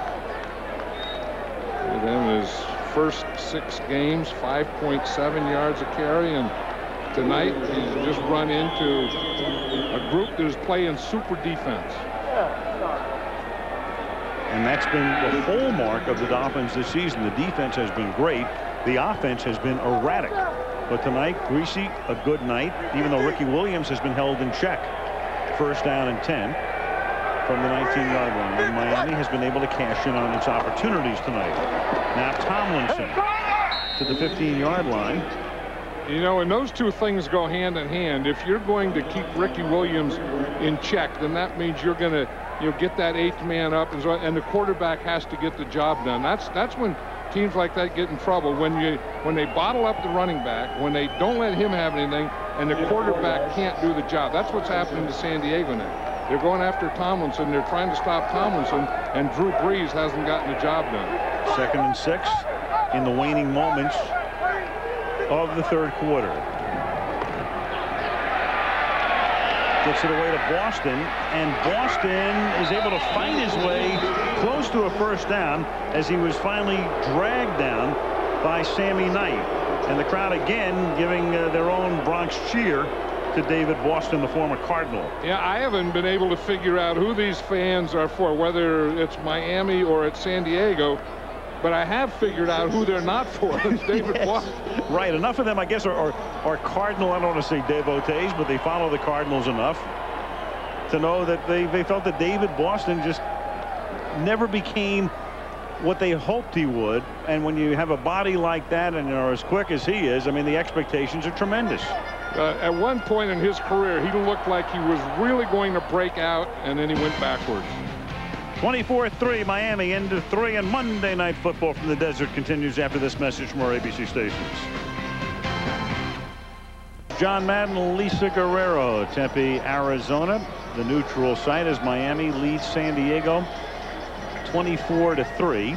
Local news coming up on your ABC station, except on the West Coast, ESPN Sports Center. And here we go in the fourth quarter as San Diego is at the nine, first and goal, trying to climb back into the game, make it a two-touchdown game. And Tomlinson can only pick up one as Jason Taylor wrestles him down. They've been running most of the time in this drive, and you'd think at some point when you're down by 21, you're going to have to go after a, a, a quick one. You're going to have to start throwing the ball a little. Watch Jason Taylor here. We know that he's a good pass rusher, and he plays the run very well because he has good hands. He has long arms and good hands, and he gets his hands on you, then he extends his arms and plays off that. second down and goal.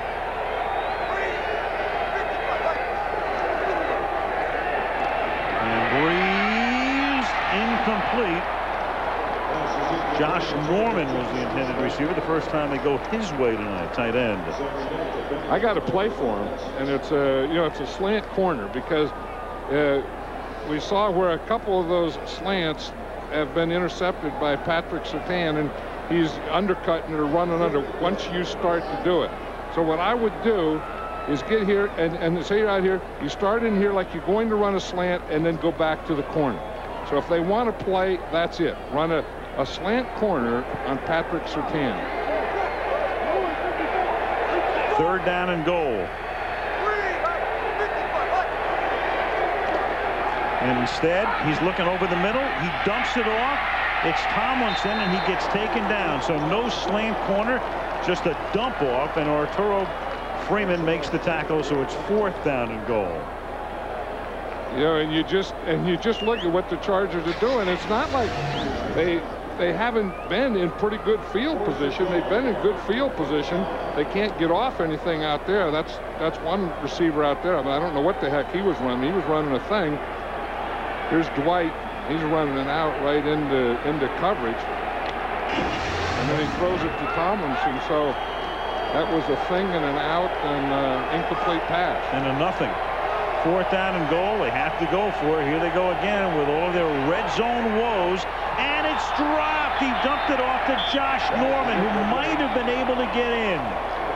But again, the pressure applied by Miami. They forced a little shovel. And it's still 24 to 3 with 13-25 left in the fourth. In Gratis, first time in anybody's memory there wasn't an admission charge for an NFL game mean, going back to the inception of the league in 1920. And Miami now from the five-yard line after taking over on downs and the passes incomplete. And of course, the reason we are here is because of the disaster, the fires, and in Southern California, specifically in the last day and a half in San Diego. And of course, it, that has really touched Junior Seau. He had this to say earlier. This is a, definitely a, a, time where we all need to just pray and, and hope the families are healthy and, and ready to go for, you know, work on Monday and, and what have you. But uh, whenever you, you walk around San Diego and you see ashes and debris uh, in the air floating, there's definitely something wrong. And uh, that, that causes all of us to uh, just kind of sit back and, and look at it and, and, and really put everything in perspective, and that's life. And right now, while you listen to Seau, you saw Donnie Edwards force the fumble by Ricky Williams, and Quentin Jammer recovered it. So San Diego has another chance. And Marty now trying to get his team ready to at least punch it in from inside the two. There's Donnie Edwards. You saw him in the linebacker position, and he comes on what they call a run blitz. He's going to fill that hole. Watch him come up there right now. He makes Ricky Williams start to make the cut, and he just pops the ball out of there, and Quentin Jammer's right there. And we always talk about blitzing on running plays, but you also have, I mean, blitzing on passing plays, but you also have run-down blitzes, and that was just one of them by the Chargers. And now Miami will take a timeout as their defensive unit comes out onto the field, but they might have sent out the base defense instead of a defense on first and goal from the one-yard line. So they want to get regrouped, and San Diego with a last gasp here, a gift to get back in. And again, we brought this up earlier, and here it is updated the Dolphins defense on 20 surges into their red zone have given up only two touchdowns.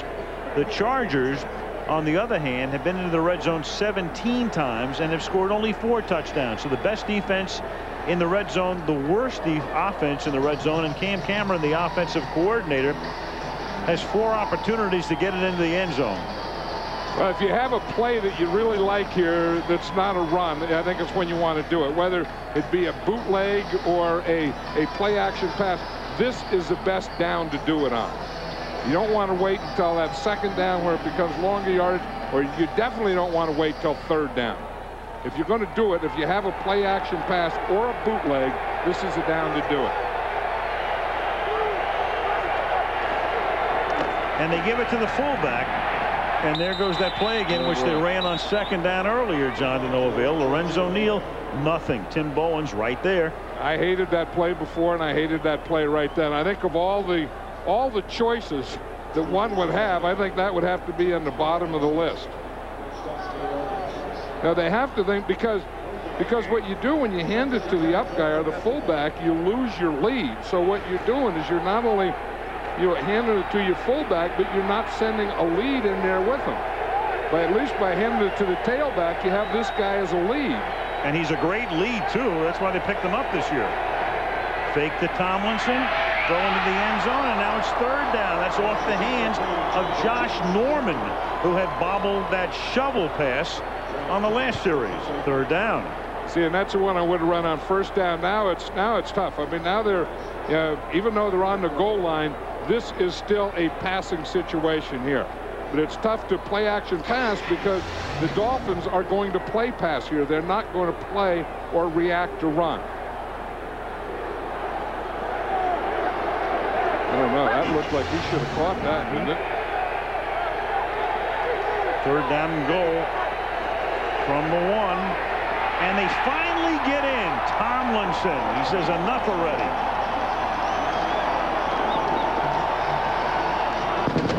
So handed the ball at the one. It takes them three plays, but in they go to make it a two touchdown game. What they did is they got in a passing a passing formation, made the Dolphins think pass, react to pass, and then they just ran the ball to LaDainian Tomlinson. That's a move that he makes here. And he starts and he holds them to the outside, makes them react to the outside, then cuts it back to the inside. 24-10 as they mount what they hope is a comeback. Hey, John, maybe we've been through the dishwater. Maybe we're coming out of the dishwater here. Sometimes bottom, bottom of dirty dishwater is some pretty good stuff. Eastern and Pacific and 9 Central and Mountain Wednesday night on ABC. 24-10 Miami. The Ricky Williams fumble gives San Diego an opportunity to get back in the game.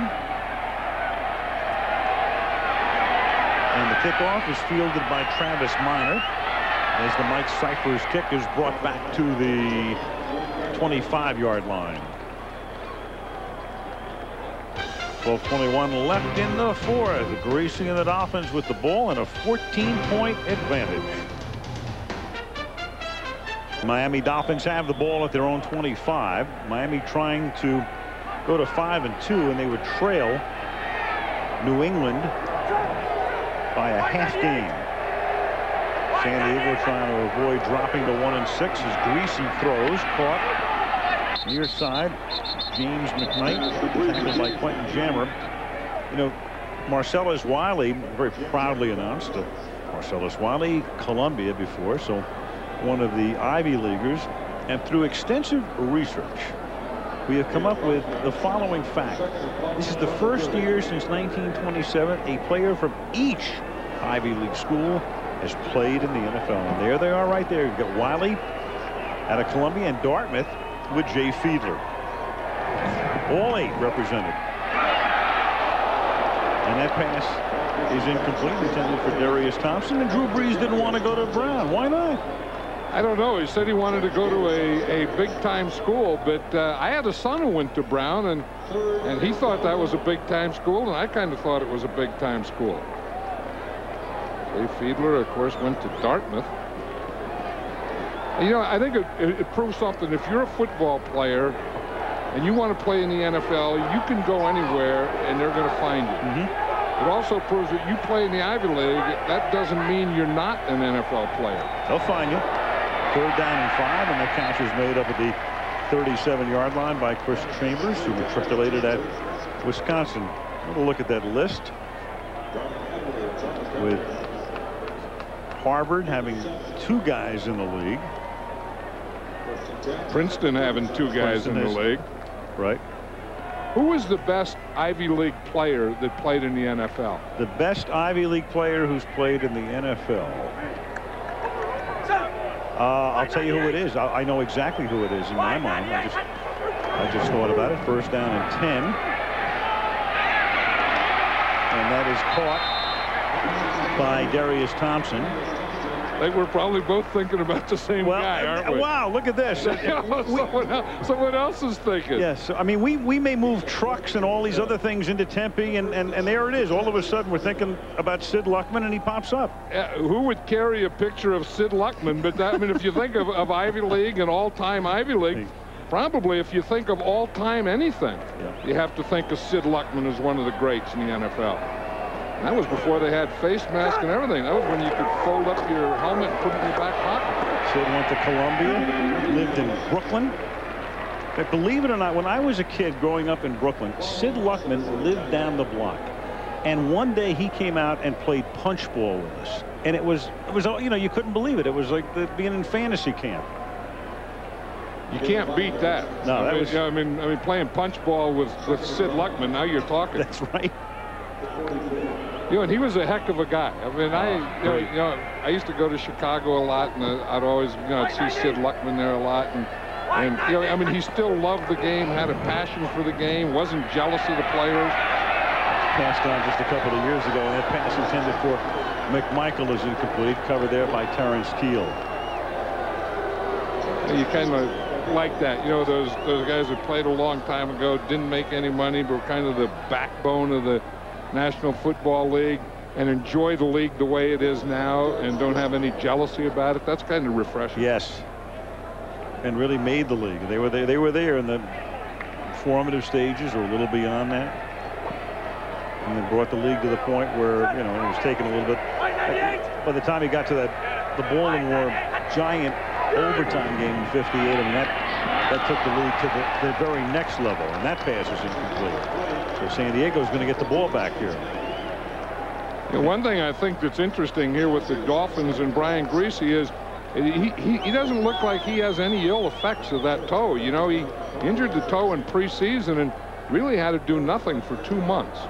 And this is the first game that he's played since. And, you know, he doesn't look like he's limping around or, or doing any of those kinds of things.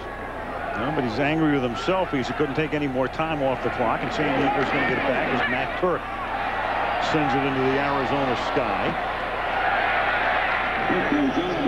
And it's out of bounds at uh, about the 20-yard line.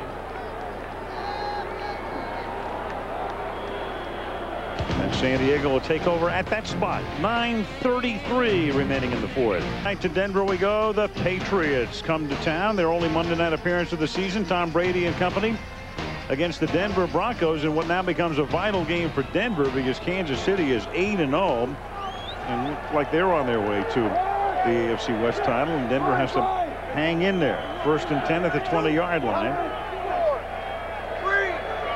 As the Chargers begin this drive down by 14 and Brees gets sacked by Jeff Zgonina who's been around a long time always gets overlooked 11th year guy and Wannstedt said you know this guy gets no attention but he's been great this season. Yeah, and, and we, we know him as kind of a run stopper, you know, a big, thick guy there in the middle. And, and, and he, he plays with Chester and Bowens. And, and, and when you talk about defense and, as you say, who's playing well, Dave Wannstedt will always say, hey, Jeff Zgonina, we picked him up, and that was one of our biggest pickups because you talk about those other guys in the middle, but he is rotating in there with them and playing quite a bit. Second and 19 is Brees under duress throws. And it's a loss on a pass to Tomlinson. And let's check in with Lisa.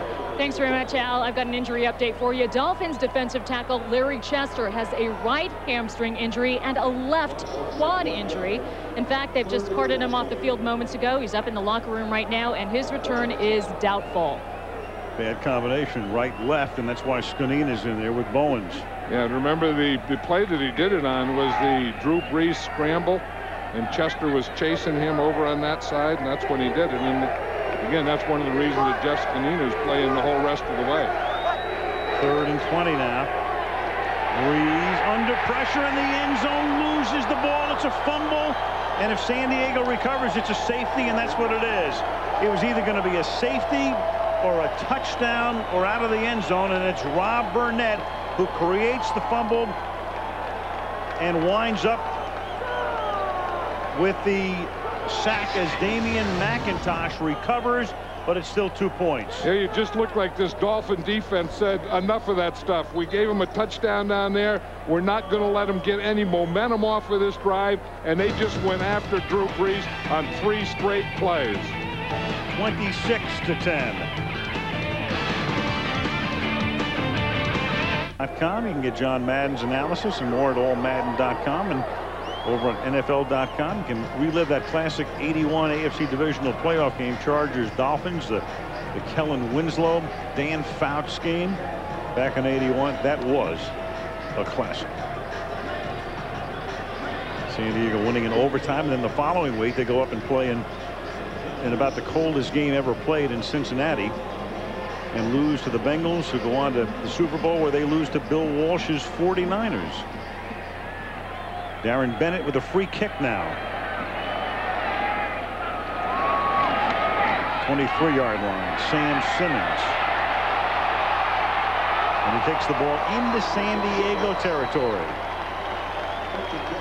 Speaking of Sid Luckman, I mean, the trucks may have pulled in at 3 o'clock in the morning, but we have a Sid package for you. And those were Bear records, still are, from 39 to 50. And Sid in those days wore number 42. Look at that jump pass. The old jump pass. throwing a strike on the run. The old fake and then come back and throw in another strike. I can see why he was a heck of a punch ball player. Boy, you, I'm telling you, what an athlete. I mean, he had, a, I mean, he had to be a real good punch ball player when he played with you guys. Two sewers. you were big time. 44 yard line.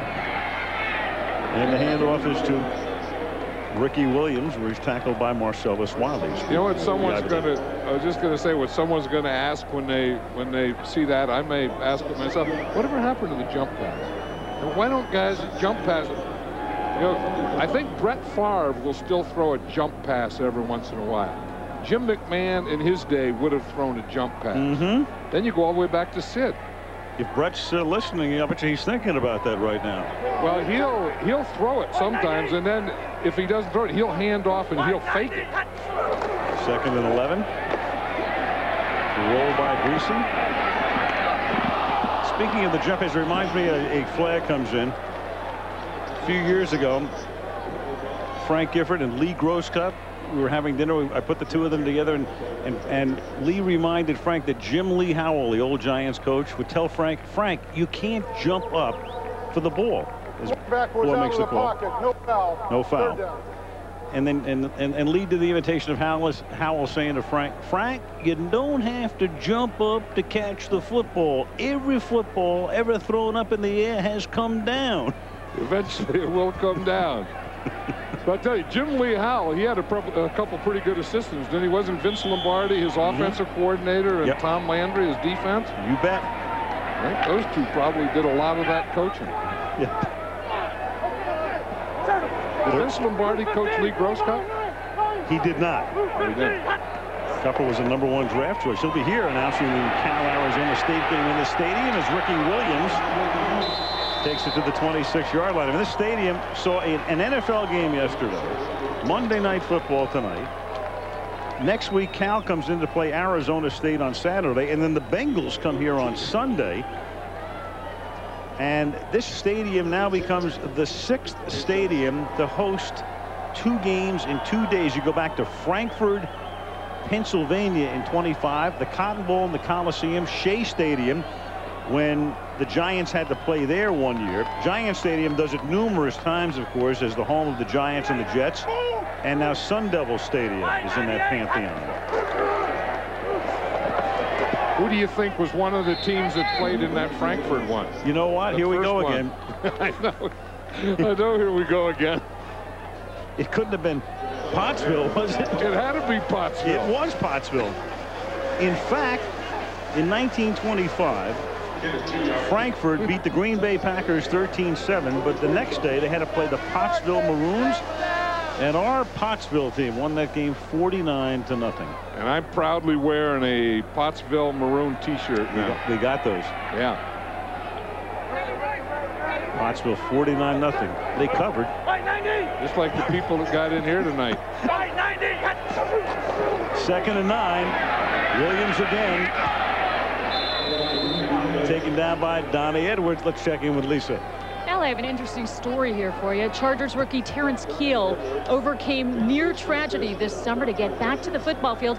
On July 4th, he was the victim of an attempted carjacking in Houston. He was shot four times, twice in the knee, once in the hip, once in the abdomen. He fought his way back to health, but he tells me he still feels pain from those bullet wounds on every tackle. Tomorrow, he heads to Houston to testify against the man who shot him, but with a whole new appreciation for life. Mm-hmm. I Remember that story this summer. Kiel, another one of the young guys in that secondary. We talked about it before.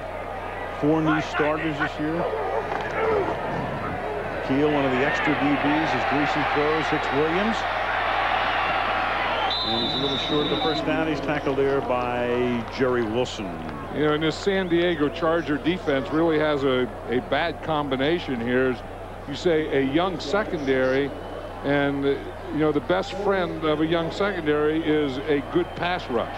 And the Chargers don't have a good pass rush. So that's going to put more pressure on that young secondary. In fact, Marty Schottenheimer a couple weeks ago was playing a lot of man-to-man, -man, and he went to zone and mix in man, and then where he used to use a lot of man and mix in zone just because of that. Because if you're going to play man, you better have a good pass rush. Mare for a 36-yard field goal. Ooh, a little off to the left. And I went, ooh, because there's a certain number in play tonight, and it's 38, and our point total at the moment is still 36. 26 to 10 Miami. With 420 remaining in the fourth quarter. Sun Devil Stadium, which of course is on the campus of Arizona State, will remain the home of the Sun Devils for a while, but the, the Cardinals are in the process of watching over construction of their new facility, which is out in the northwestern part of the Valley of the Sun out in Glendale. And they're going to be in there in the 2006 season. In fact, the the NFL is going to vote in the next couple of days for the January 2008 Super Bowl following the 2007 season. And it comes down to the Phoenix area, Washington, D.C., and Tampa. And that's going to be determined in the next few days. Well, there's never been one in the Phoenix area. Oh, yep, one yeah, time. There has been one. You're right. There's never been one in Washington, D.C. Barry Switzer's Super Bowl yeah. as the coach of the Cowboys right here against Pittsburgh. Yep. Well, maybe Washington has a pretty good shot at that. I mean, some sometime they're going to play a Super Bowl in, in the East. I mean, you know, they can't say, well, it's too cold because they play championship games there. They play mm -hmm. playoff games there. And that someday one of these Eastern teams are going to get a Super Bowl. Well, the Giants or the Giants Stadium was going to be a bidder until recently, and they decided to delay it for a year as Tomlinson makes the contract. Of course, they played Super Bowls in cold weather sites, but with roofs. Minneapolis and Detroit, and Detroit gets another one uh, after the 2005 season. Yeah, but I think, like I said, they can play championship games uh, out of doors in the East, and then, you know, a week or two later, what the heck, play a Super Bowl. I, I say give it to them, go for it. I do, too. Yeah, we got to spread it around. I mean, that's part of football. I mean, that's what, you know, we look at Sid Luckman and those guys. I mean, they played in that weather. What mm -hmm. the mm-hmm. heck? What's the deal? We're, we're playing night games now in January. We're in Green Bay. The snowball in in New England a couple of years ago. Anything goes these days. First and 10. Tomlinson, swing pass.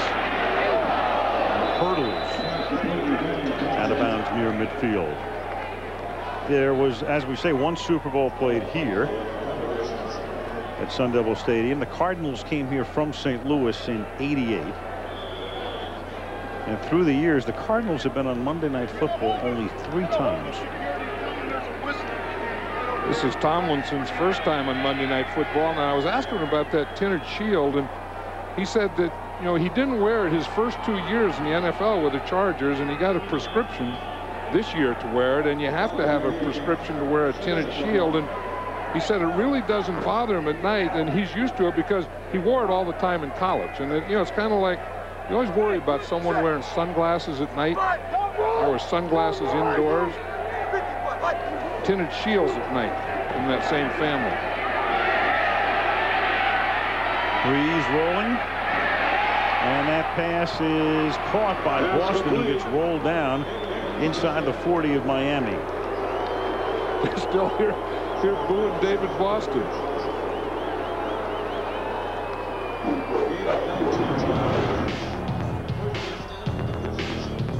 A look at Boston, who came out of Ohio State and made the big play in the Rose Bowl to cost Arizona State. Uh, that's you know what? Now that I think about it, that's another reason they're booing him.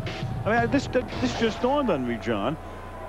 When Jake Plummer scored on what would have been one of the more fantastic plays in the history of college football, and ASU was trying to win the Rose Bowl against Ohio State, and then the Buckeyes get the ball back, and it's Boston who scores coming back the other way. Now, now it all comes together. Yeah, now you sound like a Red Sox fan. you, you, guys could bring out all the things. You bring out the Rose Bowl, you bring out the, the, Ohio State, you bring out everything they did to you. And it never goes away, does it? Speaking of great plays in college football, I mean, you think of Doug Flutie and that play in the Orange Bowl against Miami in, I guess, what was that, 84? That's where, that's where he rolled right, right? He, he, he, went back and then he went out to his right and launched one. Launched one to Phelan. They have a name for that? I think they do. Hmm. I'm out of marbles. I can't think of it. I saw a thing on Doug Flutie, though, where he was saying that that wasn't the biggest play of his life. You know, the, the biggest was when he was in Canada and won a championship in Canada. I mean, Doug has had about 14 different lives in football. He was out for a while. Then Mike Ditka brought him back. Canada, Buffalo, three or four years ago, led the Bills into the playoffs. Won the Heisman in 84. Bears, Pats, CFL. Look at that CFL, six-time MVP. Second and 15 from the 42-yard line Brees gets sacked back at the 49-yard line. Ogunleye. So the Charger woes continue. You, by the way, I should mention the JB, the patch on the Charger uniforms, and in the memory of John Butler, their much respected and very well liked general manager who succumbed to cancer during the offseason. So it's been a um, an emotionally racking year for the San Diego Chargers. And look at the standings, it's reflected there. Yeah, and you you know you look at the game that Drew Brees has has had tonight. I mean, he's been completely frustrated by this defense, and you say, well, why don't you put Doug Flutie in? That's not Doug Flutie's job anymore. I mean, Doug Flutie's job isn't to come in and mop up a 26 to 10 mess.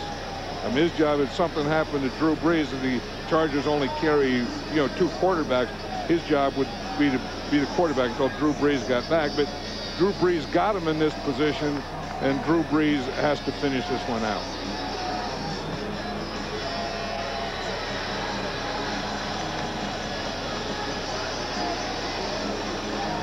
Well, Miami will go home. They'll fly into the night and get ready to take on Indianapolis. Big game next Sunday and then they go to Tennessee. So two very big games coming up for the Dolphins as they try to keep pace with the New England Patriots.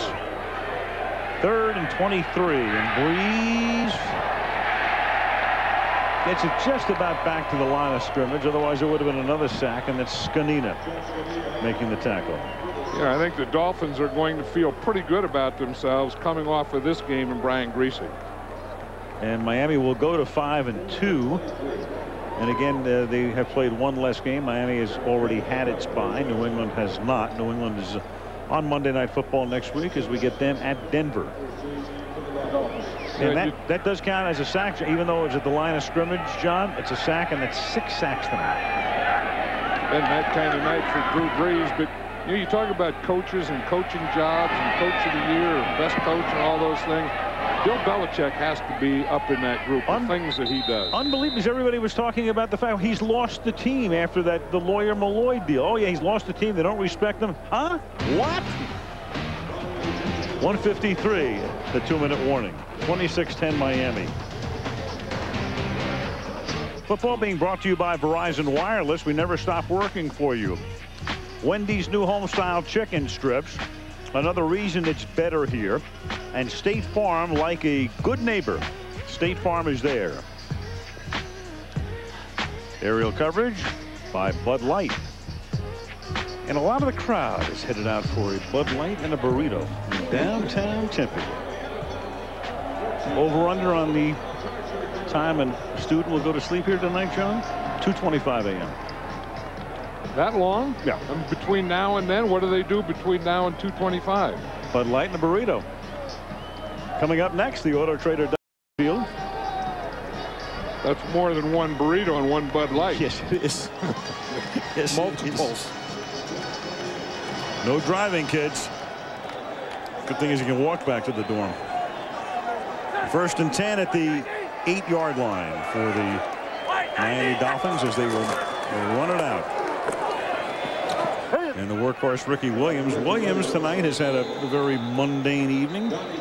21 carries for 61 yards, but Griese's done enough, and and the defense, of course, the and, defense. And I think that that's that's all part of it. You know, if you want to gang up, like I said before, and and stop the run, and that's what the Chargers were going to do. I mean, their number one thing, their number two thing was Ricky Williams. And if you're going to do that, you can do it. You can take away the run, but if you do that, then the quarterback has to make the play. And tonight, you know, we had that. Brian Griese did make the plays, and, and Drew Brees was the same thing on their side. Drew Brees didn't make the play. 121 rating for Griese and for Brees, whose number was in the 30s last uh, week in Cleveland. But that was uh, good enough to get them a victory. They're only one of the season. But the key thing, TD slash in. Three touchdowns, no picks for that man. No touchdowns, three picks for Brees. Williams. And San Diego takes its final timeout. Have to take a timeout and then come up with some plays that can score 16 points. That's two touchdowns and two two-point plays. Well, the horse trailer worked its way from San Diego into Arizona. The horse trailer has to field at home. I mean, the next couple in Arizona, going to Denver next week.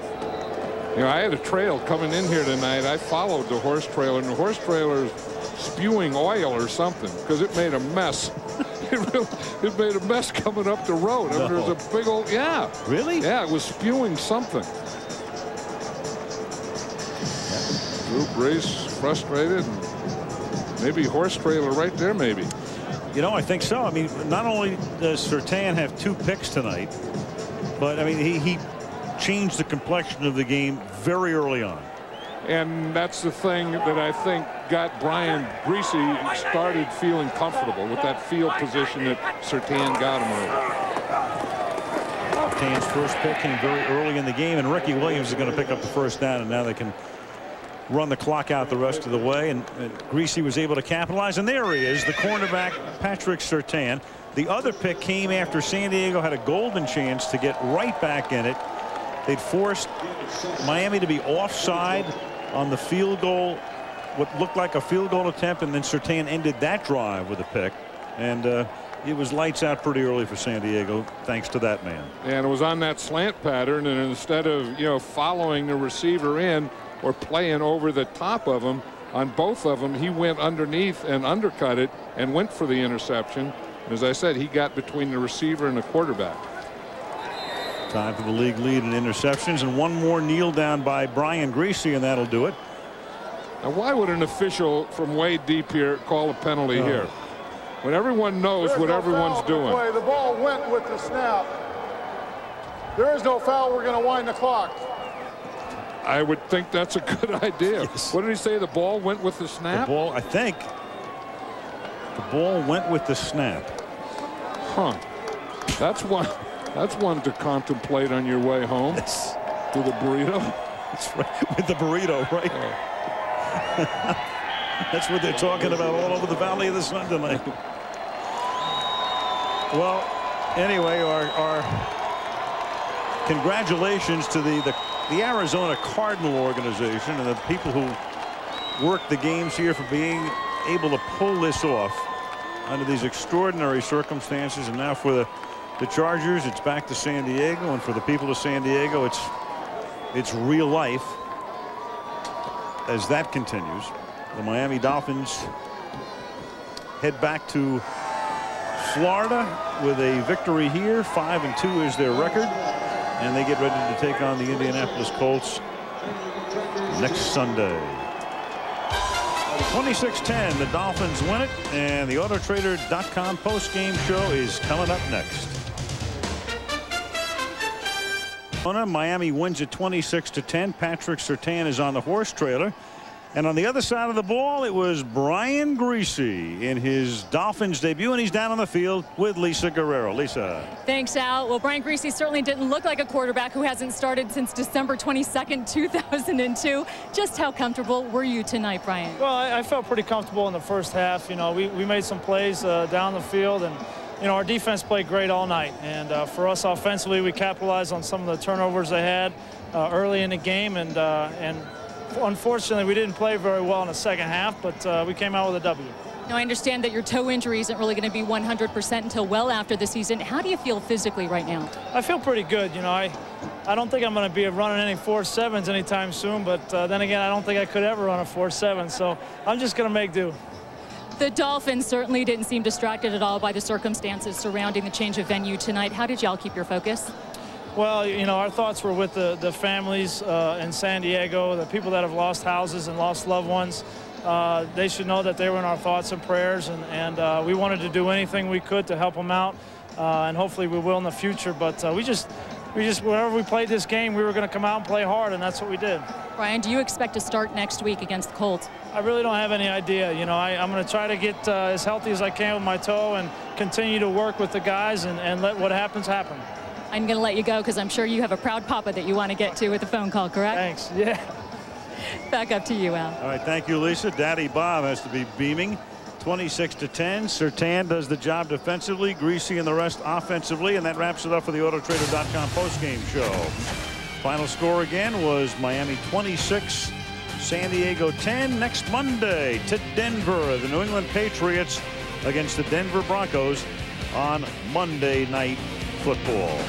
Until then, Al Michaels, John Madden, Lisa Guerrero saying goodnight from Tempe, Arizona.